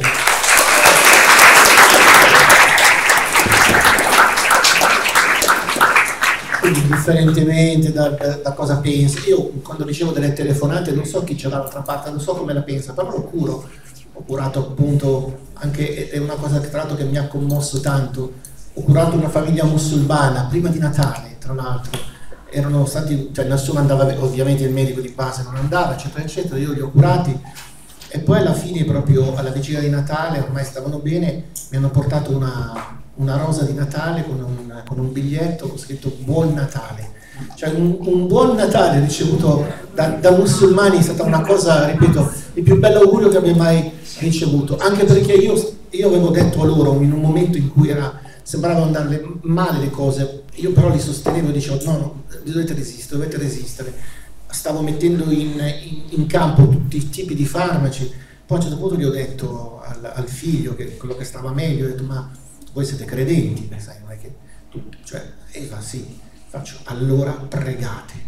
Gli ho detto anch'io pregherò per voi e magari questa alleanza Gesù-Allah porta a dei, a dei buoni risultati e infatti si sono salvati. Quindi bisogna curare tutti, quindi io non pongo nessuna pregiudizio anche verso i vaccini. A volte qualcuno dice, beh io però mi sono vaccinato, va bene, ho capito, eh, e, e interveniamo allora. Cosa si può fare? In realtà le cose non sono co- così chiare come per la cura del Covid. Ormai abbiamo capito come agisce il Covid, quindi bisogna fermare l'infiammazione, eccetera, eccetera. Il vaccino agisce in, in modi più subdoli, certamente crea dei problemi di tipo vascolare, tipo sulla coagulazione, per cui io suggerisco sempre, anche in forma post vaccino o anche in forma preventiva, se qualcuno di voi dovesse farlo per forza, perché con la pistola puntata per salvare magari la propria famiglia, perché lo stipendio è uno e deve mantenere i figli, eccetera, se dovete farlo fate una profilassi preventiva prendendo cardioaspirina, proprio per la, la cardioaspirina è un'aspirina leggera, a un dosaggio basso e impedisce la formazione di trombi quindi tre giorni prima del vaccino e poi per 20 giorni dopo prendere cardioaspirina. Poi c'è un, un prodotto che ho già usato ampiamente che è proprio un disintossicante rispetto a quello che c'è ai danni della proteina, eh, della proteina spike fatta dal vaccino, è un prodotto che si chiama Esperivit, fatto con esperidina coercetina e vitamina C. Questo è un prodotto naturale, quindi tra l'altro lo potete prendere in farmacia senza ricetta, Esperivit, e prenderne tre al giorno, tre giorni prima della vaccinazione e 20 giorni dopo la vaccinazione. Tra l'altro questo lo potete prendere anche come prevenzione, cioè in questo tipo di situazione col vaccino fatto eh, ti, ti, attenua i, i danni, funziona così ma lo si può prendere anche, se, se uno non deve fare il vaccino, come prevenzione. Adesso andiamo incontro anche a freddi, eccetera. Quindi una, come, pre, come pura prevenzione, una pastiglia al giorno. Un Esperivit al giorno toglie il Covid di turno. Quindi poi prendete per prevenire anche vitamine, queste fanno bene, vitamina B, la vitamina C, la vitamina D e poi ehm, anche questo tipo di, di, di prodotto c'è anche un altro mh, come dire, prodotto preventivo che potrei consigliarvi, appunto non ci guadagno niente, ma anche qua è una storia che conosco perché è, un, è la storia di uno scienziato che tra l'altro è stato allievo di Rita Levi Montalcini, quindi non proprio l'ultima dei Moicani, che dirige un istituto di ricerca a Bolzano. A un certo punto mi chiama, nel, cioè già a maggio del 2020, dice guarda ho messo a punto, c'è una sostanza, una molecola naturale, eh, c'è una classe di molecole che si chiamano ciclodestrine che dice che interferiscono nel, nel, nel meccanismo di ingresso del virus nella cellula, impediscono l'endocitosi, che è il meccanismo per cui il virus entra nella cellula. Questo scienziato, che tra l'altro è un uomo buono, un uomo pulito, che qua dedito al lavoro, non ha neanche famiglia, vive ancora con i genitori, eh, si dedica tutti i giorni alla... era felice e qualche giornale aveva cominciato a parlarne anche al di fuori dell'Italia, perché essendo di Bolzano i suoi lavori erano arrivati anche in, in Austria, eccetera, eccetera, è stato premiato a Praga per questo prodotto. lui mi ha detto che ha ricevuto delle pressioni fortissime, delle minacce per quest- non mettere in giro, di non produrre, di non di, eh, diffondere questo prodotto. Alla fine l'AIFA non gliel'ha nemmeno approvato come eh, farmaco, ma gliel'ha approvato come integratore alimentare, anche se in realtà è uno spray, perché lui è riuscito a eh, dire, sintetizzare queste molecole in una forma spray che fa arrivare quindi il prodotto direttamente nelle vie respiratorie. Quindi quale integratore alimentare spray? Non ha senso, però e si chiama Endovir Stop, attaccato. Spray nasale o spray eh, orale, come volete. E quindi due spray o tre al mattino e per tutta la giornata si può andare in giro, eccetera. Impedisce l'ingresso. Quindi questo è è un'altra forma di, di, prevenzione. Comunque io mi ricordo quando era così felice di averlo scoperto, la soddisfazione, non per, una, non per soldi, infatti diceva, è una molecola che a bassissimo costo, lo diffonderemo a bassissimo costo e quindi era la soddisfazione di aver fatto un buon lavoro per il prossimo, anche quest'uomo un uomo di grande, di grande fede. Poi il terrore davanti alle minacce ricevute. Cioè que- tutto quello che è cura, come appunto il plasma immune di De Donno, però per fortuna c'è, ripeto, nelle farmacie magari bisogna farlo arrivare, lo tengono nascosto, non è, però chiedetelo, Endovir Stop e anche questo funziona. Funziona sì, io ci ho fatto tutto lo, da quando è reperibile, da quando è commerciato, eccetera, io vado avanti così, non sempre magari appunto adesso lo riprenderò con i freddi, eccetera. Senza ricetta Senza ricetta, per fortuna. Anche per i bambini lo consigliamo? Sì, sì. Ma questo Sterilit anche dopo qualche mese da chi ha fatto la vaccinazione? Sì, perché comunque esiste, così come esiste il long covid, cioè il covid, gli strascichi del covid, così possono esistere come gli strascichi del vaccino, quindi fatto, se è vaccinata sei mesi fa fa niente, lo prendo lo stesso. Sì. Dunque, a livello sempre di prevenzione, Paolo, ehm, a parte insomma, queste indicazioni che già ci hai dato, quali sono le buone pratiche in termini per esempio di stile di vita, eh, ciclo dormiveglia, alimentazione, sport e se ci sono delle categorie più a rischio, sappiamo che ci sono delle indicazioni particolari. Ecco, anche questa è una bellissima domanda perché appunto eh, il potere ha indotto una paura indiscriminata, tutti, cioè tutti possiamo prenderlo ma morire, no? E invece non è così. Anche qua ci vengono incontro i dati i meri dati epidemiologici e statistici. Innanzitutto il 67% dei morti sono maschi, cioè un rapporto 2 a 1, il doppio. 67, quindi poi ci sono dei fattori di rischio proprio acclarati, uno dei quali per esempio è il sovrappeso e, l'obesità. Però perché non lo dicono? Perché non, come dire, non danno delle indicazioni, guardate che c'è qualcuno, cioè tutti, tutti devono sentirsi sotto minaccia. Per cui, vabbè, tra l'altro, piccola parentesi, eh, poi vabbè, l'età, se il 99,1 dei morti è sopra i 50 anni, anche questa è un'indicazione, come dire, mettiamo in sicurezza le persone più anziane, però appunto il terrore è indiscriminato. Invece io che ho 62 anni, eh, sono evidentemente, l'avete visto, cicciottello, maschio, evidentemente dovrei vivere nel, nel, terrore, ma grazie a Dio non vivo affatto nel, nel, terrore, perché appunto si può prevenire, anche chi magari ha qualche fattore di rischio in più, non deve necessariamente vivere nel, nel terrore, deve semplicemente proteggersi, per cui magari allora la prevenzione con questi farmaci che dicevamo prima, magari cercare anche, eh, questo lo dico appunto a me stesso in primo luogo, cercare di perdere peso, eh, di dimagrire un po', eh, di magari se qualcuno ha anche un'altra abitudine che chiaramente a rischio è il fumo, ma anche qua avete mai sentito o visto in atto una campagna non me ne vogliono i, fuma, i fumatori, eh?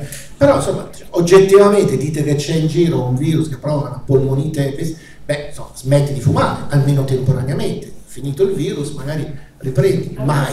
Anzi, i tabaccai erano delle pochissime cose sempre aperte e non me ne vogliono i tabaccai eventuali presenti, ma anche qua oggettivamente chiudi tutto e però invece il tabaccaio sì, puoi fumare, perché non cogli l'occasione di una cosa del genere per dare delle indicazioni appunto di, di, di buone pratiche sanitarie? Quindi fondamentalmente ecco questo tipo, magari anche appunto migliorare la dieta, lasciare perdere i cibi spazzatura, mangiare più sano, fare anche come dire movimento, ma appunto sappiamo bene che durante i lockdown era proibito anche fare passeggiate, uscite, quindi c'erano tutti degli stili di vita coatti che tutti tendevano, come dire, in realtà a peggiorare gli stili di vita. Ecco, quindi queste sono le, le, le forme di, di, prevenzione anche naturale, anche appunto fattibili, tenendo conto appunto di, di rischi, non vivendo così nella, nell'illusorietà di non ammalarsi, ma facendo di tutto per non ammalarsi. Eh, ancora sulla prevenzione, alcune indicazioni, allora noi leggendo, informandoci, sappiamo di alcuni consigli che sono stati dati da alcuni tuoi colleghi circa l'assunzione della lattoferrina, del glutatione, della quercetina, menzionato anche prima, e anche dell'isozina.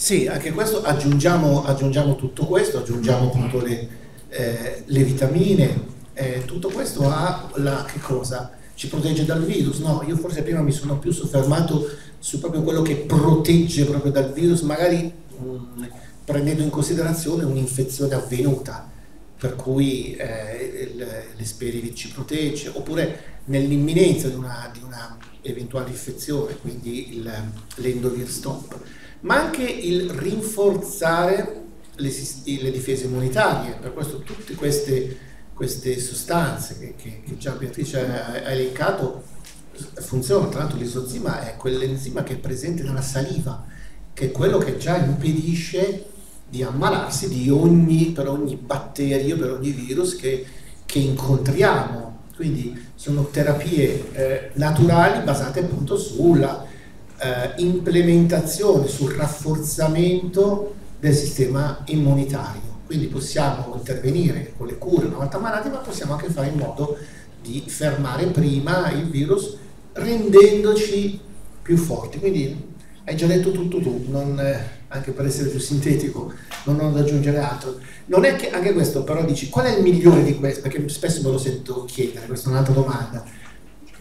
Dipende anche un po' dall'individuo, da individuo a individuo, devi cercare di capire eh, anche a seconda dei fattori di rischio. Io chiedo sempre, cioè il, la medicina è anche questo, non è che c'è, appunto, prima dicevo, la medicina dei protocolli eh, guarda l'uomo come se fosse semplicemente un numero, devi fare questo, devi fare quest'altro la medicina vera è quella che tiene in considerazione tanti fattori, sei diabetico, sei cardiopatico. Io quando parto anche con le cure non è che ho uno schema, spesso mi chiedono qual è il, il suo protocollo di cura. Non ne ho, non voglio protocolli. Ogni persona è una persona, a seconda della persona do un antibiotico piuttosto che a seconda anche delle gravità delle condizioni, un antibiotico piuttosto che l'altro, piuttosto che uno più forte e così via. Se sei diabetico devo stare attento col cortisone, e ci sono tutta una serie di fattori, quindi dobbiamo ripartire anche qua da una medicina personalizzata, non la medicina del protocollo come se fossimo tutti uguali, non siamo tutti uguali e quindi vanno tenuti in considerazione anche questo, quindi anche magari nelle indicazioni dietetiche piuttosto di quale tipo per te può andare meglio la lattoferrina, per qualcun altro invece magari un altro tipo di, eh, integratore che possa rinforzare il sistema immunitario, anche qua però appunto sapere che esistono e poi però cercare, lo so che non è facile, cercare un medico che ti possa fare da riferimento per sapere che cosa prendere. Anche qua, l'abbiamo sempre detto, l'autoterapia non va bene, bisogna sempre comunque... Lo so che oggi il problema è trovare davvero uno straccio di medico che ti dica che cosa prendere, magari che ti prescrive anche, perché non tutti i farmaci sono, sono, prescrivibili e addirittura ci sono anche dei farmacisti che fanno resistenza su farmaci perfino da banco. Questo è un episodio che vi devo dire, perché mi è capitato di recente. Eh, non, non, vi dico di quando appunto mi è capitato di prescrivere l'idrossiclorochina con farmacisti, specie di qualche regione, che e ci facciamo il va. L'Emilia Romagna dove non lo davano, plugin non lo volevano dare, perché quando capiscono che tu stai curando un paziente Covid, bam, si ferma. Ma questo ve lo devo dire, perché è una cosa cresciosa. E capitato un paio di settimane fa, un signore di Milano mi chiama e mi dice, mio figlio purtroppo ha fatto il vaccino, io non volevo, gliel'ho sconsigliato, faccio vabbè, eh, ormai l'ha fatto, procediamo facciamogli prendere appunto la, la cardiospirina, eccetera. Ragazzo va in farmacia e chiede al farmacista cardiospirina. L'aspirina è un prodotto da banco, la dai normalmente, ma qui il farmacista, che evidentemente, come tanti medici, se, non un professionista della salute, ma una sentinella del regime, ha chiesto al ragazzo, ragazzo di 20 anni, gli dice perché prendi la cardiospirina e il ragazzo in buona fede gli ha detto perché ho fatto il vaccino e un medico mi ha consigliato, ah no no no no, l'aspirina ti può far venire delle emorragie. Dice, ma allora non la vendiamo neanche. Cioè, allora pensate che la cardiospirina è 100 mg di acido acetilsalicilico. L'aspirina normale che prendete per la raffreddore cioè, è 400 mg. Quindi che problema fa? Dovremmo tutti quelli che prendono l'aspirina eh, controllarsi immediatamente? Dice, ti possono venire delle... Dice, ma perché ti sei fatto? Mi è venuto da dire, mi è venuta una rabbia, perché ho detto, ma fai quello che devi fare. Dai, ti ha chiesto, non è che ti ha chiesto la cocaina, ti ha chiesto la cardiospirita, dagliela, punto e basta, pigliati i soldi e taciti. Invece no, perché è andato a scavare? Perché è andato a cercare di impedire un'azione di profilassi? Non è che stavo dandogli la clorochina, gli stavo cercando di aiutarlo a non avere dei trombi. Quindi questa è stata un'azione veramente di interferenza criminale, cioè finalizzata a impedire, ad impedire una profilassi normale. Dica signora. Il cardirene è uguale? Sì, linea di massima sì. Sì, si ha delle allergie, sì, chiaro che non tutti può, l'aspirina oggettivamente può dare, a molte persone sono allergiche, quindi bisogna trovare... Mm. Certo. No, io mio figlio in Emilia Romagna, quando mi ha detto che doveva fare il vaccino, ha consigliato di fare un serologico prima. Mm. Se l'hanno mangiato. Sì, ma il, il serologico non interessa a nessuno. Chi se l'ha detto queste cavolate? Allora, il test serologico, il test, la ricerca degli anticorpi dimostra se una persona è immune se una persona è immune, io appunto ho fatto per più di 30 anni il medico vaccinatore, se qualcuno mi veniva dicendo ma che faccio, devo fare, vac- devo fare il richiamo antidettanico? Vediamo, no, c'hai gli anticorpi, sei a posto, torna tra qualche anno, guarda c'è ancora una titolazione, abbiamo sempre fatto così, morbillo, la rosolia, tutto, cioè, hai, hai gli anticorpi, basta, sei a posto, non devi vaccinarti, anzi vaccinarti potrebbe indurti delle reazioni, eccetera. Quindi ormai si sta andando contro la logica, contro i dati della scienza, eccetera. No? Non interessa tanto al potere avere una popolazione immune, interessa avere una popolazione vaccinata. Certo, sei immune? Perfetto, bene, sono tranquillo. Anzi, risparmiamo un vaccino che costa anche soldi, lo usiamo per qualcun altro, cioè, invece non interessa, non interessa avere una popolazione immune, avere, interessa avere una popolazione vaccinata. C'era un signore, c'era ah, no, signora... anzi dirigi tu il traffico. Allora cerco di andare in ordine di alzata di mano, c'era prima la signora Raniera. Parla voceate comunque. Eh, la mia è una, non è tanto una curiosità, è un modo per rispondere a quelle persone che ancora non, che sono ancora, che vacillano per la sperimentazione. Allora mi, mi fanno queste, questa, questa domanda, dice mi spiega allora la spagnola? Eh, mi spiega la poliomielite, allora io lì mi sono andata per quello che è la mia possibilità a documentare e ho visto che la spagnola hanno detto lei è un ricercatore, è uno studioso in merito, mi può dare una risposta se è vero che dicono che sono stati i soldati americani che essendo stati vaccinati hanno portato loro la spagnola. Quindi era, io volevo dare questa risposta, però non essendo sicura al 100% la porgo a lei. Ecco.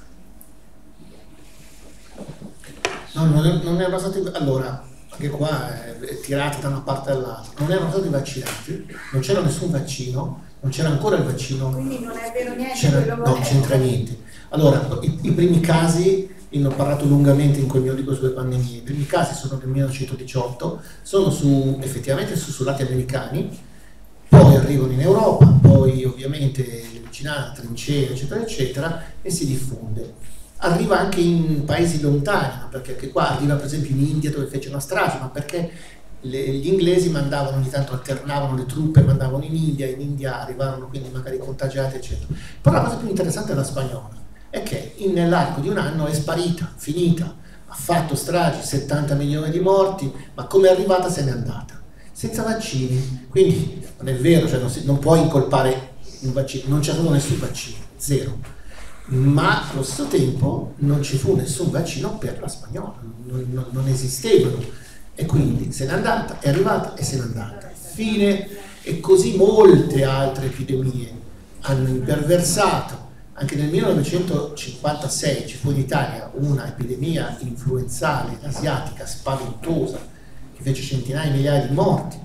Nel 68, tutti ricordiamo il 68 per più motivi, no? Invasione di Praga, la rivolta studentesca, ma chi ricorda che il 68 fu anche un anno di una spaventosa epidemia influenzale, no? Perché nulla chiuse, eppure ci furono anche lì migliaia e migliaia di morti di questa influenza in Italia, ma tutto andava avanti, non c'erano chiusure, eccetera, e del 68 tutto ricordiamo purché un anno di una grande eh, pandemia influenzale. Il signore in seconda fila. Uh, io voglio ringraziare per questo discorso, io sono un collega tedesco. Eh, voglio dire che tutto quello che ha detto, siamo più o meno una generazione, funziona anche il nostro paese così, che è gente consapevole che ha capito una cosa, noi rispettiamo quelli che si vaccinano. Volete farlo? Farlo. Ma perché voi non rispettate persone uguali, semplice, ragionevole, che per una cosa o altra non vuole farlo? Alla fine questa tutto Green Pass è niente altro che una uh, trappola, nel senso che certo che non è obbligatorio, però senza Green Pass non puoi lavorare, però senza questi bambini non va a scuola. Allora è, è una cosa schizofrenica in qualche modo, lo deve capire ognuno. In Radio Capital ha sentito che noi qui tutti siamo paranoici e complottisti. Ma io dico chi è paranoico? Chi è complottista? Voi che fate una discriminazione e le trattate come siamo persone di seconda classe, o, que, o noi non vogliamo che rispettate noi come persone come siate voi rispettati. E poi la medicina è così, che noi non trattiamo malattie, trattiamo noi trattiamo malati. persone. Certo. Allora, come ha detto anche noi, certamente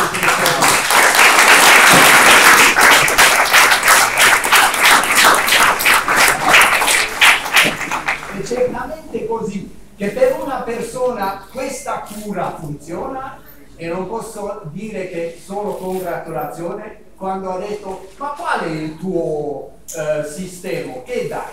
Ma come può essere così, scusa, stupido? Perché noi non siamo oggetti, siamo, siamo uomini, diciamo, prodotti biologici, che ognuno è diverso e quello ha bisogno di una dosa più grande, quell'altro di, di più piccola. E poi senz'altro alla fine, quello che no, no, non capisco, perché Italia adesso in organizzazione OMS, WHO World Health Organization, ha preso Italia che lui conduce e dà tutte le istruzioni per vaccinazione, perché abbiamo un banchiero che se non lo sapete, questo era un uomo, io lo, lo so personalmente, in America lui ha lavorato con la banca Sachs. Sachs è conosciuto in tutto il mondo, la banca più criminale che esiste. Quello distrugge uomini, frega, fa tutto. E lui era qui. Allora il premier d'Italia. Non voglio dire più niente. No, no.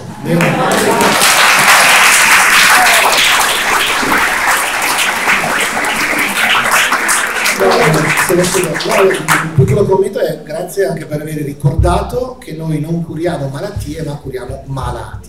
Tra l'altro l'ospedale nella lingua tedesca eh, si dice Krankenhaus, che è un termine bellissimo perché vuol dire la casa del malato. Quindi è, questo è l'ospedale, la casa house del malato. Quindi eh, dobbiamo davvero rifocalizzarci sul malato, non sulla, sulla, malattia, mentre appunto tutta la conduzione della pandemia a livello di comunicazione mediatica era i casi, i numeri, eccetera. ma dietro i numeri ci sono persone, quindi grazie per aver ricordato appunto la concezione personalista della medicina. E solo una frase, scusatemi che eh, voglio dire, perché ci vuole anche un po' contro un antidepressivo, quando uno ha detto, ma dottore scusa, ma, ma quando si finisce questa cavolata di... ha detto, sì, sì.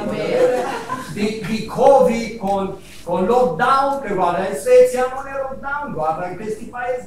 Io ho detto, ma scusa, come posso dire? Io sono medico, non sono politico.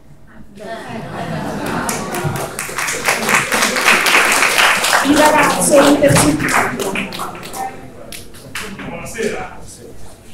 Vorrei una sua opinione, essendo un suo collega, sul paradosso che stanno vivendo i guariti dal Covid, di cui soprattutto in campo sanitario non viene riconosciuta l'immunizzazione e si vuole che vengano vaccinati e sulla mia pelle le dico che sto subendo un procedimento disciplinare proprio per questo motivo, perché non intendo sottopormi da immunizzato alla vaccinazione. Perché mi sembra un paradosso che una persona di cui i recenti studi hanno dimostrato la più forte, più prolungata immunizzazione dei guariti dalla malattia naturale rispetto ai vaccinati debba subire una vaccinazione, quindi con tutti i pericoli del caso, perché se non ho più niente da temere dal virus, invece ho paura che un vaccino non mi possa dare niente in più e mi possa invece dare danni. Certo. Permettetemi, permettetemi su questa cosa Paolo un breve inciso dal punto di vista normativo. Eh, all'inizio era stata emanata una circolare dal Ministero della Salute, questa è materia purtroppo quasi quotidiana per noi del Comitato e dell'Associazione Consumatori, che prevedeva per eh, le persone malate di Covid e guarite dal Covid una mh, possibilità di vaccinazione preferibilmente entro tre mesi non oltre i sei mesi.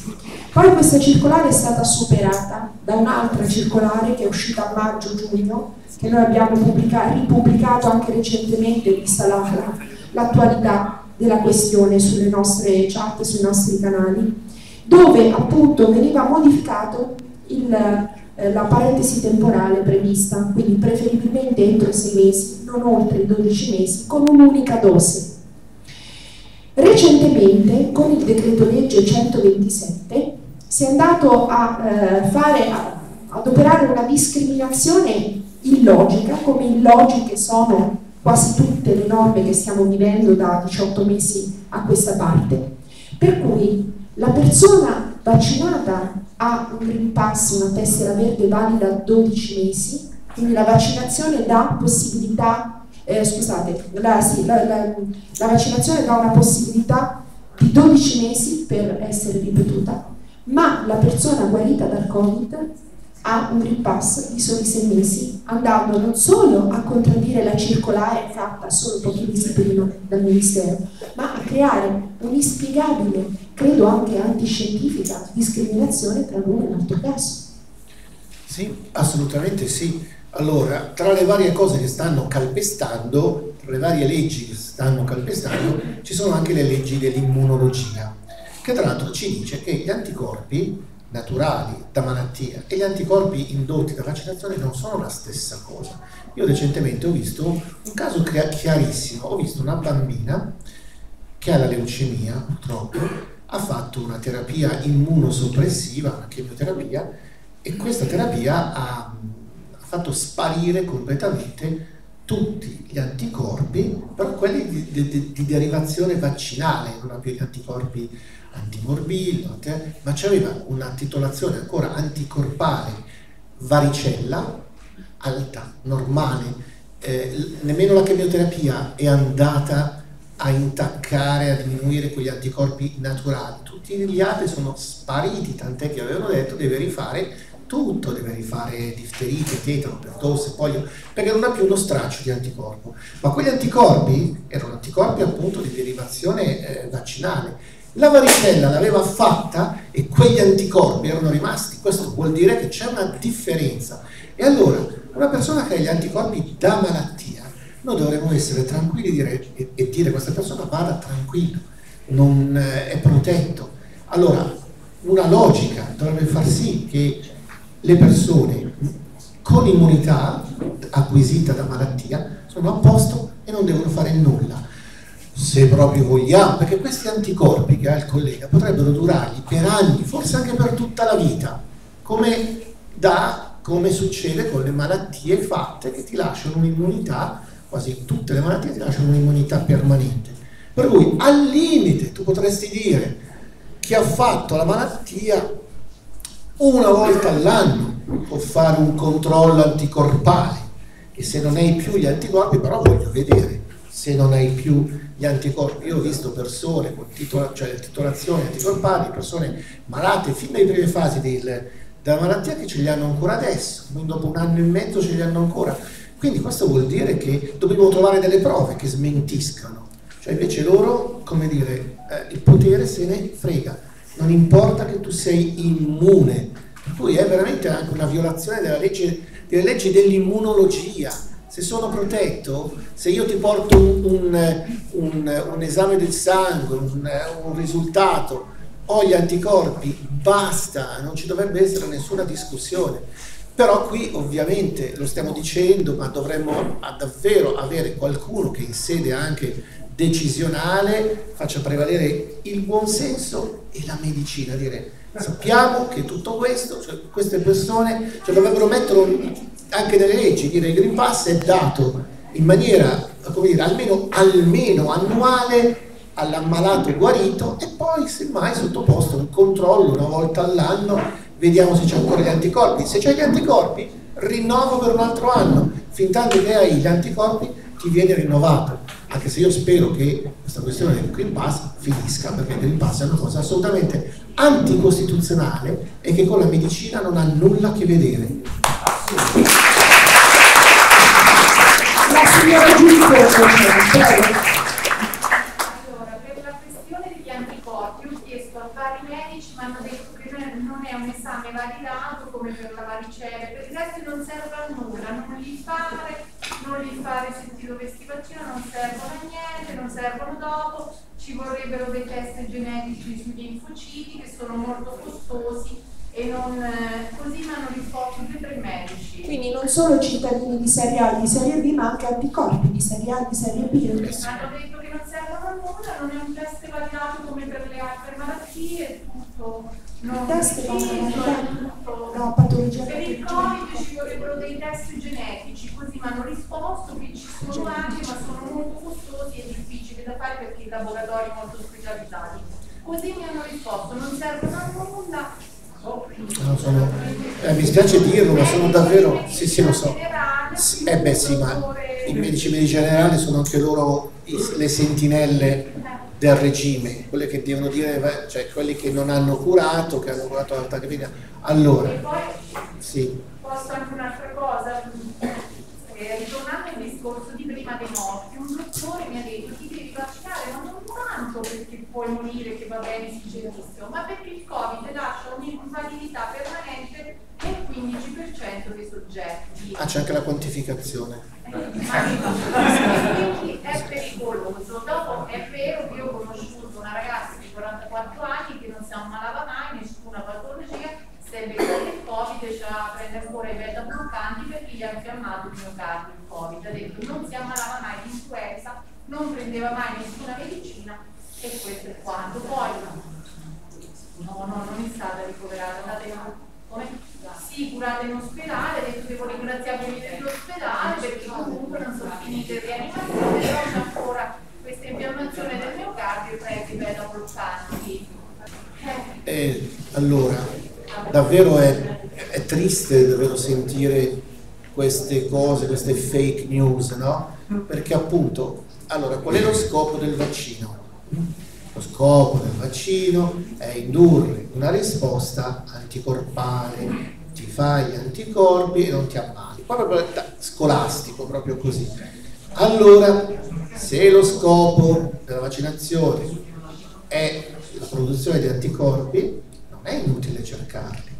Se io ce li ho già perché ho fatto la medicina, quindi perché non fanno la ricerca, per esempio sui vaccinati, non fanno mai i test, non, non vanno a vedere. Io recentemente appunto ho visto una, una infermiera in ospedale che era stata mandata a me per fare la vaccinazione antimorbillo perché a un test di, di routine era risultata non immune perché ogni tanto c'è la sorveglianza, cosiddetta sorveglianza sanitaria, andiamo a vedere se sei a posto per morbillo, tetano, epatite, eccetera, eccetera. Guardo tutte le cose che gli avevano fatto e ho detto, ma non avevano fatto una ricerca anticorpi anti-covid? Così, per curiosità. No, vaccinato, andiamo a vedere se il vaccino ha funzionato bene. Non lo fanno, non c'è questa cosa qua. Potrebbero farlo, magari anche, uno dice, anche, anche potrebbe essere anche a spese del, dell'interessato. Io penso che molte persone lo farebbero volentieri. Andiamo a fare un test, vediamo se c'è gli anticorpi. Quindi non è vero che gli anticorpi, cioè conoscere la quantità di anticorpi, conoscere se ci sono, non è affatto inutile. Significa sapere se sei immune, se non sei immune.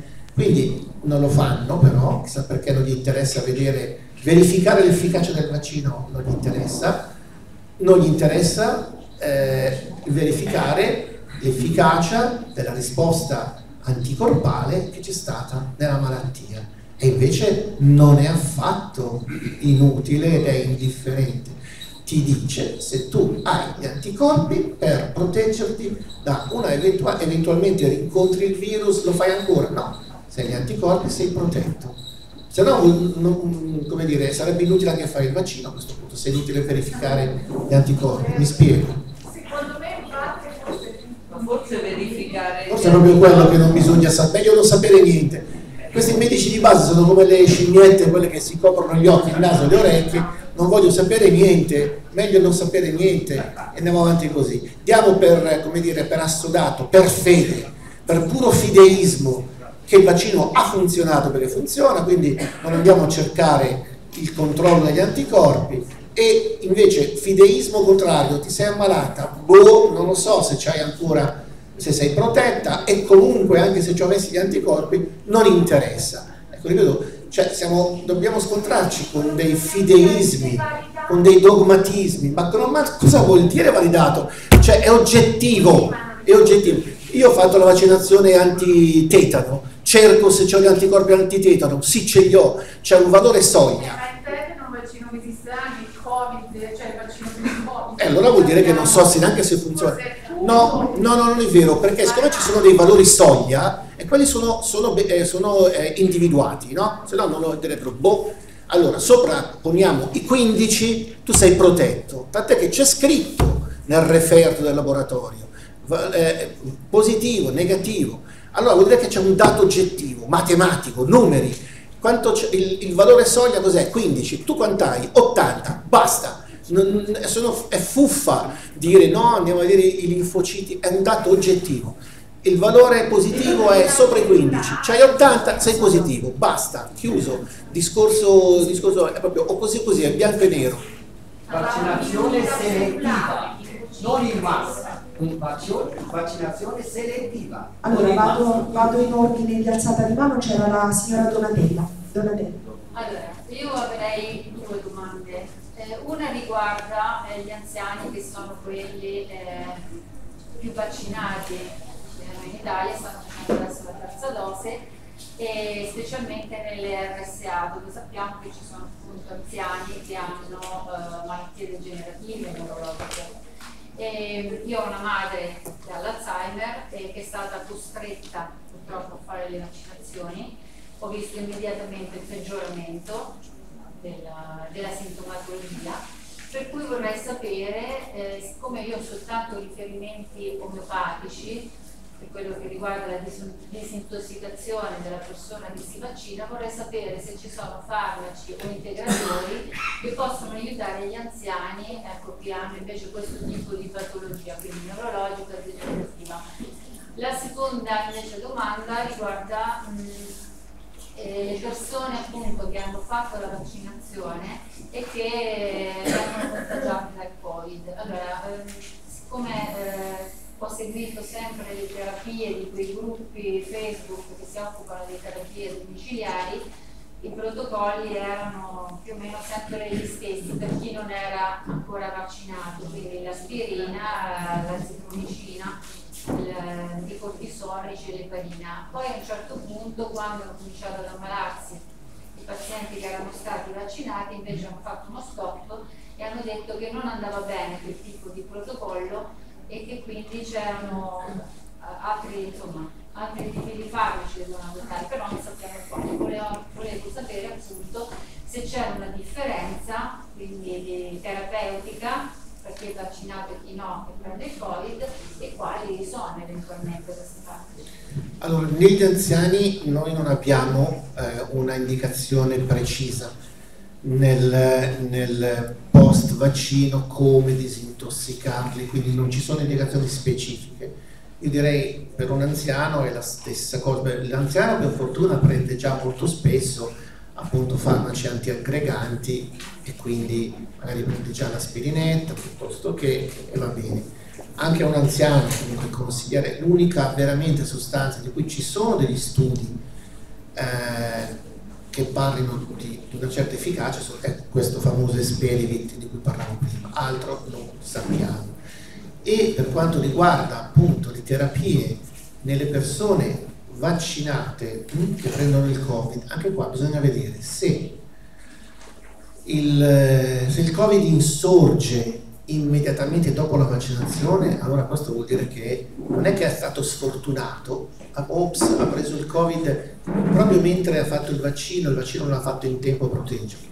Il Covid diagnosticate queste persone il Covid da vaccino, cioè è il vaccino che gli ha provocato il Covid. Mi spiego? E allora in questi casi che fai? Cioè, la, sempre sostanze antiaggreganti, antinfiammatori, agisci sui, sui sintomi. Covid fatto da un vaccinato a distanza di, di tempo, eh, a questo punto comunque lo tratti come un un paziente che non era, che non era vaccinato, cioè alla fine, almeno io per quelli che ho curato, ho curato con le, con le stesse cose, magari non con l'antibiotico, perché evidentemente il Covid naturale è magari entrato nell'organismo parassitando anche batteri. E allora dai l'antibiotico per uccidere i batteri. Questo, nel caso magari del vaccinato probabilmente no, però sostanzialmente siccome quello che conta è eh, non tanto uccidere il virus, ma, ma, ma, fermare gli effetti del virus, agisci sempre nello stesso modo comunque, con antinfiammatori, quindi eh, tutti quelli che abbiamo prima eh, elencato, farmaci immunomodulanti, come ad esempio appunto l'idrossiclorochina, e questo è il, il, modo in cui io personalmente tratto questi, co, questi Covid invaccinati. Sì, senta, se gentilmente può rispondere, voglio sapere se il SARS, cioè il SARS-CoV-2, cioè questo, stato isolato dove e da chi? Sì. Anche su questo si girano queste cose che non è, no, è stato isolato assolutamente, isolato, sequenziato, perché ancora oggi sì, no, questo, questo, questo, questo è stato se no altrimenti non riuscivano a fare questi, questi vaccini quindi lo sappiamo, non è, non è più un, un, mistero c'è un libro molto interessante tra l'altro di un professore italo-americano Joseph Tritto che eh, si chiama, se non sbaglio, Covid-19, il virus della paura e lui stesso l'ha esaminato in, in laboratorio e e, e tra l'altro descrive certe anomalie di struttura che fanno anche pensare che non sia la famosa chimera di cui parlavano all'inizio. No, all'inizio parla, eh, ma anche qua vedete serve a giustificare tutta una narrazione che collega l'emergenza sanitaria all'emergenza ambientale, no? Eh, ci sono state queste cose, il passaggio dal pipistrello al pangolino, tutte storie Lui dice, ma l'ha detto anche il professor Montagnier, molto più autorevolmente, che ci sono dentro nelle sequenze appunto del virus esaminato, sequenziato, isolato, tutto quanto, dice ci sono dentro delle, delle sequenze genomiche che non sono, da, non sono da coronavirus, sembrerebbero quelle del, del virus dell'HIV. E in effetti la tesi è che stessero pasticciando, fra virgolette, su questi, su questi virus per riuscire a fare un vaccino contro l'HIV. Poi è sfuggito di mano, quindi stavano manipolando, modificando geneticamente dei coronavirus. Perché lavoravano sul coronavirus? Perché appunto è un virus ingenuo, è un virus, eh, come dire, innocuo e quindi dovevano utilizzarlo come vettore per altro. Per esempio i vaccini a vettore virale, quelli appunto ormai in estinzione, eh, l'AstraZeneca e il Johnson Johnson sono così, prendono un vettore virale, hanno preso il, il, ehm, un virus di un adenovirus di scimpanzé, l'adenovirus è un virus respiratorio, provoca, eh, l'hanno, gli hanno inserito oh, sequenze della, del, del, virus del Covid e in questo modo hanno fatto questo tipo di vaccino. Quindi qua la stessa cosa, secondo il professor Tritto stavano lavorando alla produzione di un, di un vaccino per l'HIV, quindi hanno preso una base, chiamiamola così, di un virus tranquillo, di un virus come il coronavirus, hanno inserito frammenti genomici di altro e poi invece alla fine è venuta fuori questa bestia qua, capite? Quindi è come se è stato isolato, sequenziato, studiato, compreso. Il problema è che fare poi eh, davanti a questo tipo di virus. C'è una domanda lì, prego signora. Io volevo fare la testimonianza, ho preso il Covid in forma lieve, e sono guarita senza anche nulla, ho fatto le mie analisi per conto mio senza suggerimento del dottore di base, mi ha detto che ho speso soldi, mm-hmm. però mi ha detto che il DNA, la memoria di questa rimane. Però un'altra domanda volevo fare, per chi soffre di allergie articolari, che non, sono, che non rientrano negli standard dei test allergici, il medico di base potrebbe fare un certificato che astiene il paziente dal dover fare il vaccino? Mm. Non volontario, sì, sì. per di lavoro. Allora, intanto bene che è guarita bene, senza problemi, senza strascici, è quello che dicevamo all'inizio, no? Il 97% guarisce, quindi lei fa parte di questa bella maggioranza silenziosa. Poi ha fatto bene a fare gli anticorpi, quindi il titolo è protettivo, giusto, se ho ben capito? Sì, però mi ha detto che è basso, però comunque ha detto nella memoria del DNA rimane. Ecco, questo è un bravo medico. Me l'aspettavo da lei, perché è un medico vaccinatore. Però è stato onesto, perché esiste una cosa che si chiama memoria immunitaria e che io ho spiegato molte volte nel corso degli anni alle persone che magari arrivavano avevano, avevano titolazioni basse, allora il nostro sistema immunitario ha proprio una memoria. Cioè nel senso, abbiamo sempre detto, ma ce lo dicevano dall'alto, quando c'era ancora un alto onesto e corretto, che ci diceva, è inutile che magari fai certe... L'ho fatto anche per me stesso, no? a un certo punto io avevo fatto obbligatoriamente tanti anni fa per iniziare a lavorare la vaccinazione anti-epatite B, poi col tempo il mio titolo anticorpale si è abbassato.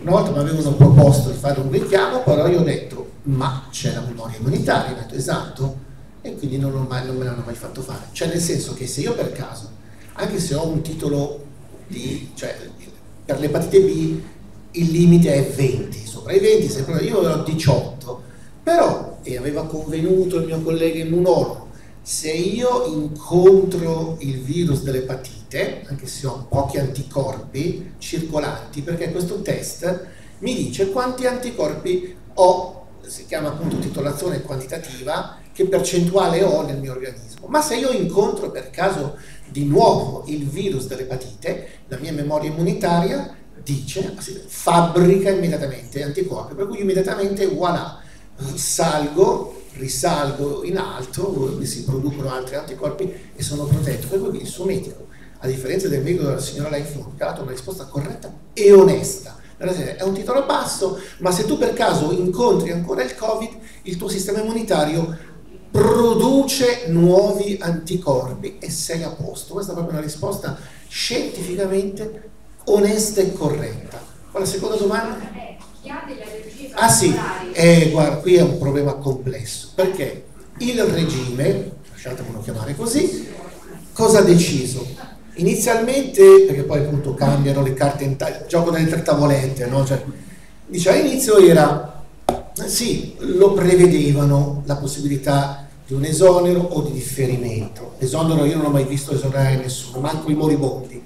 Io avevo un, un amico con un carcinoma terminale, ha fatto lo stesso. Ecco, ma cosa prevede la legge? Prevede all'inizio che medico di base e medico del eh, vaccinatore dei centri vaccinali potessero concedere presa visione di patologie, un differimento o un'esenzione. Esenzione non se ne parla neanche, è inutile illudersi, eh, spesso io lo dico. Però poi hanno tolto di mezzo il medico di base. I medici di base, ah, non so se ci sono medici di base, hanno dei sindacati potentissimi che li proteggono. I medici di base dopo un po' di tempo si sono stufati di avere persone che gli chiedevano l'esonero, il differimento, e hanno detto tirateci fuori da questa grana. Così poi è cambiato il, la legge e ora la legge prevede che solo ed esclusivamente, quindi lei può anche venirla a chiederlo al luminare dell'immunologia, eccetera, eccetera, ma nessuno gli può fare niente. Cioè se ha delle carte pregresse che dicono che ha allergie, che ha qualche patologia, eccetera, eccetera, le deve portare, produrre al centro vaccinale dove trova un medico che però a suo insindacabile giudizio... Eh? È stata scoperta da sola questa allergia, manipolando l'anilina e l'ammoniaca. Cioè lei deve avere degli esami, visite allergologiche che dicono che lei ha queste allergie, se no non, non, non, non, viene nemmeno presa in considerazione. Allora abbiamo pochissimo tempo perché dovevamo chiudere alle 18.30, c'è la signora che tiene la mano alzata da tempo, le altre mani alzate, scusate. Eh, allora, a tutti non ce la facciamo, facciamo due, due, domande e poi gli altri vi segnate qui al tavolo, faremo in modo di farvi avere le risposte. Noi, rimaniamo, noi siamo in contatto se necessario. Siamo... È proprio per dare questo messaggio, cioè chi guarda questo video o tutta questa gente che ha dubbi, starebbe fino a domani a rispondere domande, a chi si deve rivolgere? questo è importantissimo. Sì. Chi, chiunque guarderà questo video ringrazio Gaetano della... a fare un sacco di domande. Ringrazio Gaetano della domanda, eh, Gaetano è della Montefeltro TV, una web TV che ci segue sempre con i comitati, è sempre molto attiva e presente. Allora potete rivolgere le vostre domande alla mail e ora basta marche, tutto attaccato, chiocciolagmail.com Oppure, se volete, lasciate i contatti qui al tavolo dell'accoglienza, i vostri numeri di telefono, la vostra mail e ci mettiamo in contatto con voi vi facciamo entrare nei nostri canali Telegram. Si riescono a trovare anche dei professori, magari a pagamento, in teleconferenza, eccetera, perché sarà difficilissimo anche poi avere una consulenza a distanza, non è che abbiamo il professore tutti sotto casa. Allora, intanto alle domande generali che sono state poste qui e quelle che non riusciamo ad evadere stasera risponderemo, grazie a Paolo, grazie ai colleghi. Eh, che sono in contatto con noi. Poi per quanto riguarda la rete di medici sul territorio, questo comitato è attivo da molto tempo, abbiamo dei buoni contatti che stiamo comunque cercando di incrementare. Eh, la signora.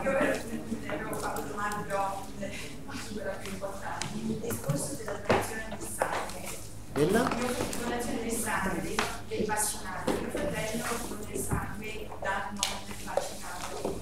Lui ha chiesto se appunto per me come vaccinato donare sangue, perché hanno detto di sì, eh, lo posso fare dopo una settimana della vaccinazione e ha chiesto anche se controllano il sangue se queste persone hanno tutti i cuori non lo fanno perché è inutile perché il Covid non si trasmette del, sangue. Eh, però a me mi preoccupa il discorso dei droni, perché eh, si sa che i droni questi vengono eh, distrutti. Sì, ho capito, ho capito. Chiudo, cioè eh, sintetizzo. Allora, non esistono allo stato attuale screening su quelle che sono le donazioni di sangue, non ci sono verifiche. Eh, una settimana francamente contraddice quello che è sempre stato un protocollo eh, nel passato sulle vaccinazioni, ma anche vaccinazioni normali. Eh. Una, una, io mi ricordo molto spesso ho fatto vaccinazioni in adulti, anche donatori, e c'era sempre comunque anche da parte dei centri trasfusionali, l'Avis stessa, sospendeva per un mese eh, il donatore, perché questo era un tempo, anche perché questa è la cosa importante, dopo un mese c'è stato un cioè avviene fisiologicamente un completo rinnovo del sangue. Quindi, bene o male, eh, per cui sarebbe opportuno, però questa cosa qua della settimana non lo sapevo ed è oggettivamente troppo breve. Il, il vaccinato donatore dovrebbe essere sospeso dalle donazioni per almeno un mese. Se non è fatto è un'altra, come dire, delle imprudenze di questo nostro tempo, che, imprudenze che nascono comunque da un negazionismo, dire tanto non succede niente, tanto va, va tutto bene. Questa è una cosa che posso dirlo perché appunto le norme sono sempre state queste, nella sospensione del vaccino. Grazie. Eh, l'ultima domanda, Antonella. Sì, io volevo chiedere se uno entra nel tunnel delle vaccinazioni, no? dicono che poi riesce a nutrire delle cellule della memoria, gli anticorpi della memoria non si risveglia al momento. Quindi se però a un certo punto decidessi di interrompere il ciclo orale degli eventi che viene proposto, secondo lei cosa può andare incontro o può rigenerare oppure può avere il ciclo vaccinale allo stato attuale è due dosi.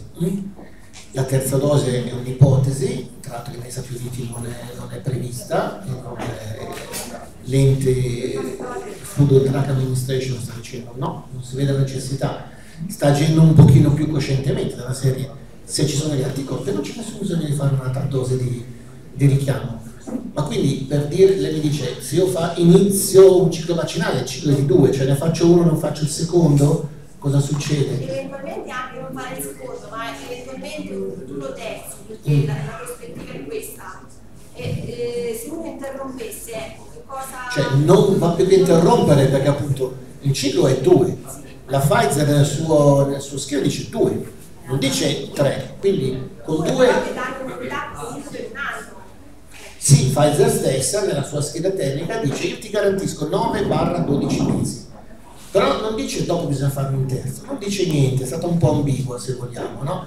Infatti si può leggere in un modo, dice se dura 9-12 mesi, allora dopo 12 mesi faccio un richiamo, ma, ne, ma non è detto.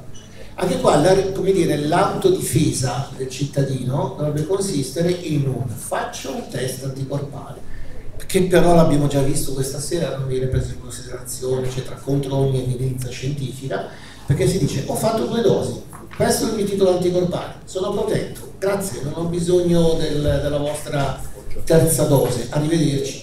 Cioè dovrebbe essere questo, lo ripeto per l'ennesima volta, è il concetto dell'immunizzazione. Sono immune o non sono immune? Per malattia, per vaccinazione, sono immune, basta, arrivederci, non ci vediamo più fino a quando non ne ho eventualmente bisogno. Ma questa, cioè, questa cosa qua dovrebbe trovare qualcuno, non lo so, anche a livello politico, che si facesse l'attore di questa richiesta di dire dobbiamo riconoscere l'immunità delle persone, immunità da malattia, immunità da vaccino e fin quando sono immune, oltretutto è anche un discorso economico, dovrebbero anche apprezzare, dice vi facciamo risparmiare, non vi facciamo buttare via dosi, perché se io ho una titolazione di mille, che bisogno ha di fare un vaccino? mandate il mio, il mio vaccino a qualcuno più bisognoso se ne avesse richiesta, se ne facesse richiesta. Risparmiate questi soldi, tra l'altro sono anche costosissimi, perché tra l'altro Pfizer ha fatto anche una speculazione passando da 20 a 35 euro alla dose, una cosa assolutamente improponibile. Tra l'altro, allora, lungi da me, l'avete capito, difendere AstraZeneca, ma AstraZeneca costava un euro alla fiala, Pfizer costava 20, costa 35. Quindi allora se io ti faccio, caro Stato, ti faccio risparmiare eh, perché fin quando sono immune non c'è bisogno di vaccinare. Ma anche questo non sembra una preoccupazione, sembra non esserci preoccupazione di ordine scientifico, anche di ordine economico, spendo spando senza problemi, vaccini a tutti indiscriminatamente. Questo è, questo è, dire, è la realtà con cui abbiamo a che fare. Fino a quando qualcuno non riuscirà ad ottenere che che si possa dire, far valere il discorso dell'immunità. Sono immune? Basta. Ecco, non possiamo rispondere alle altre domande, io vi invito a venire qui al tavolo a lasciare i vostri nominativi, se volete potete già scrivere la domanda se non ce la mandate. Eh, per chi vuole io vi ricordo che noi per fare queste iniziative questi incontri informativi chiaramente sosteniamo dei costi, quindi per chi crede è possibile lasciare un'offerta. Io ringrazio tutti per la presenza, per la partecipazione, un grande saluto e ringraziamento. A, ringrazio appunto eh, il dottor Paolo Bulzano che è stato qui con noi.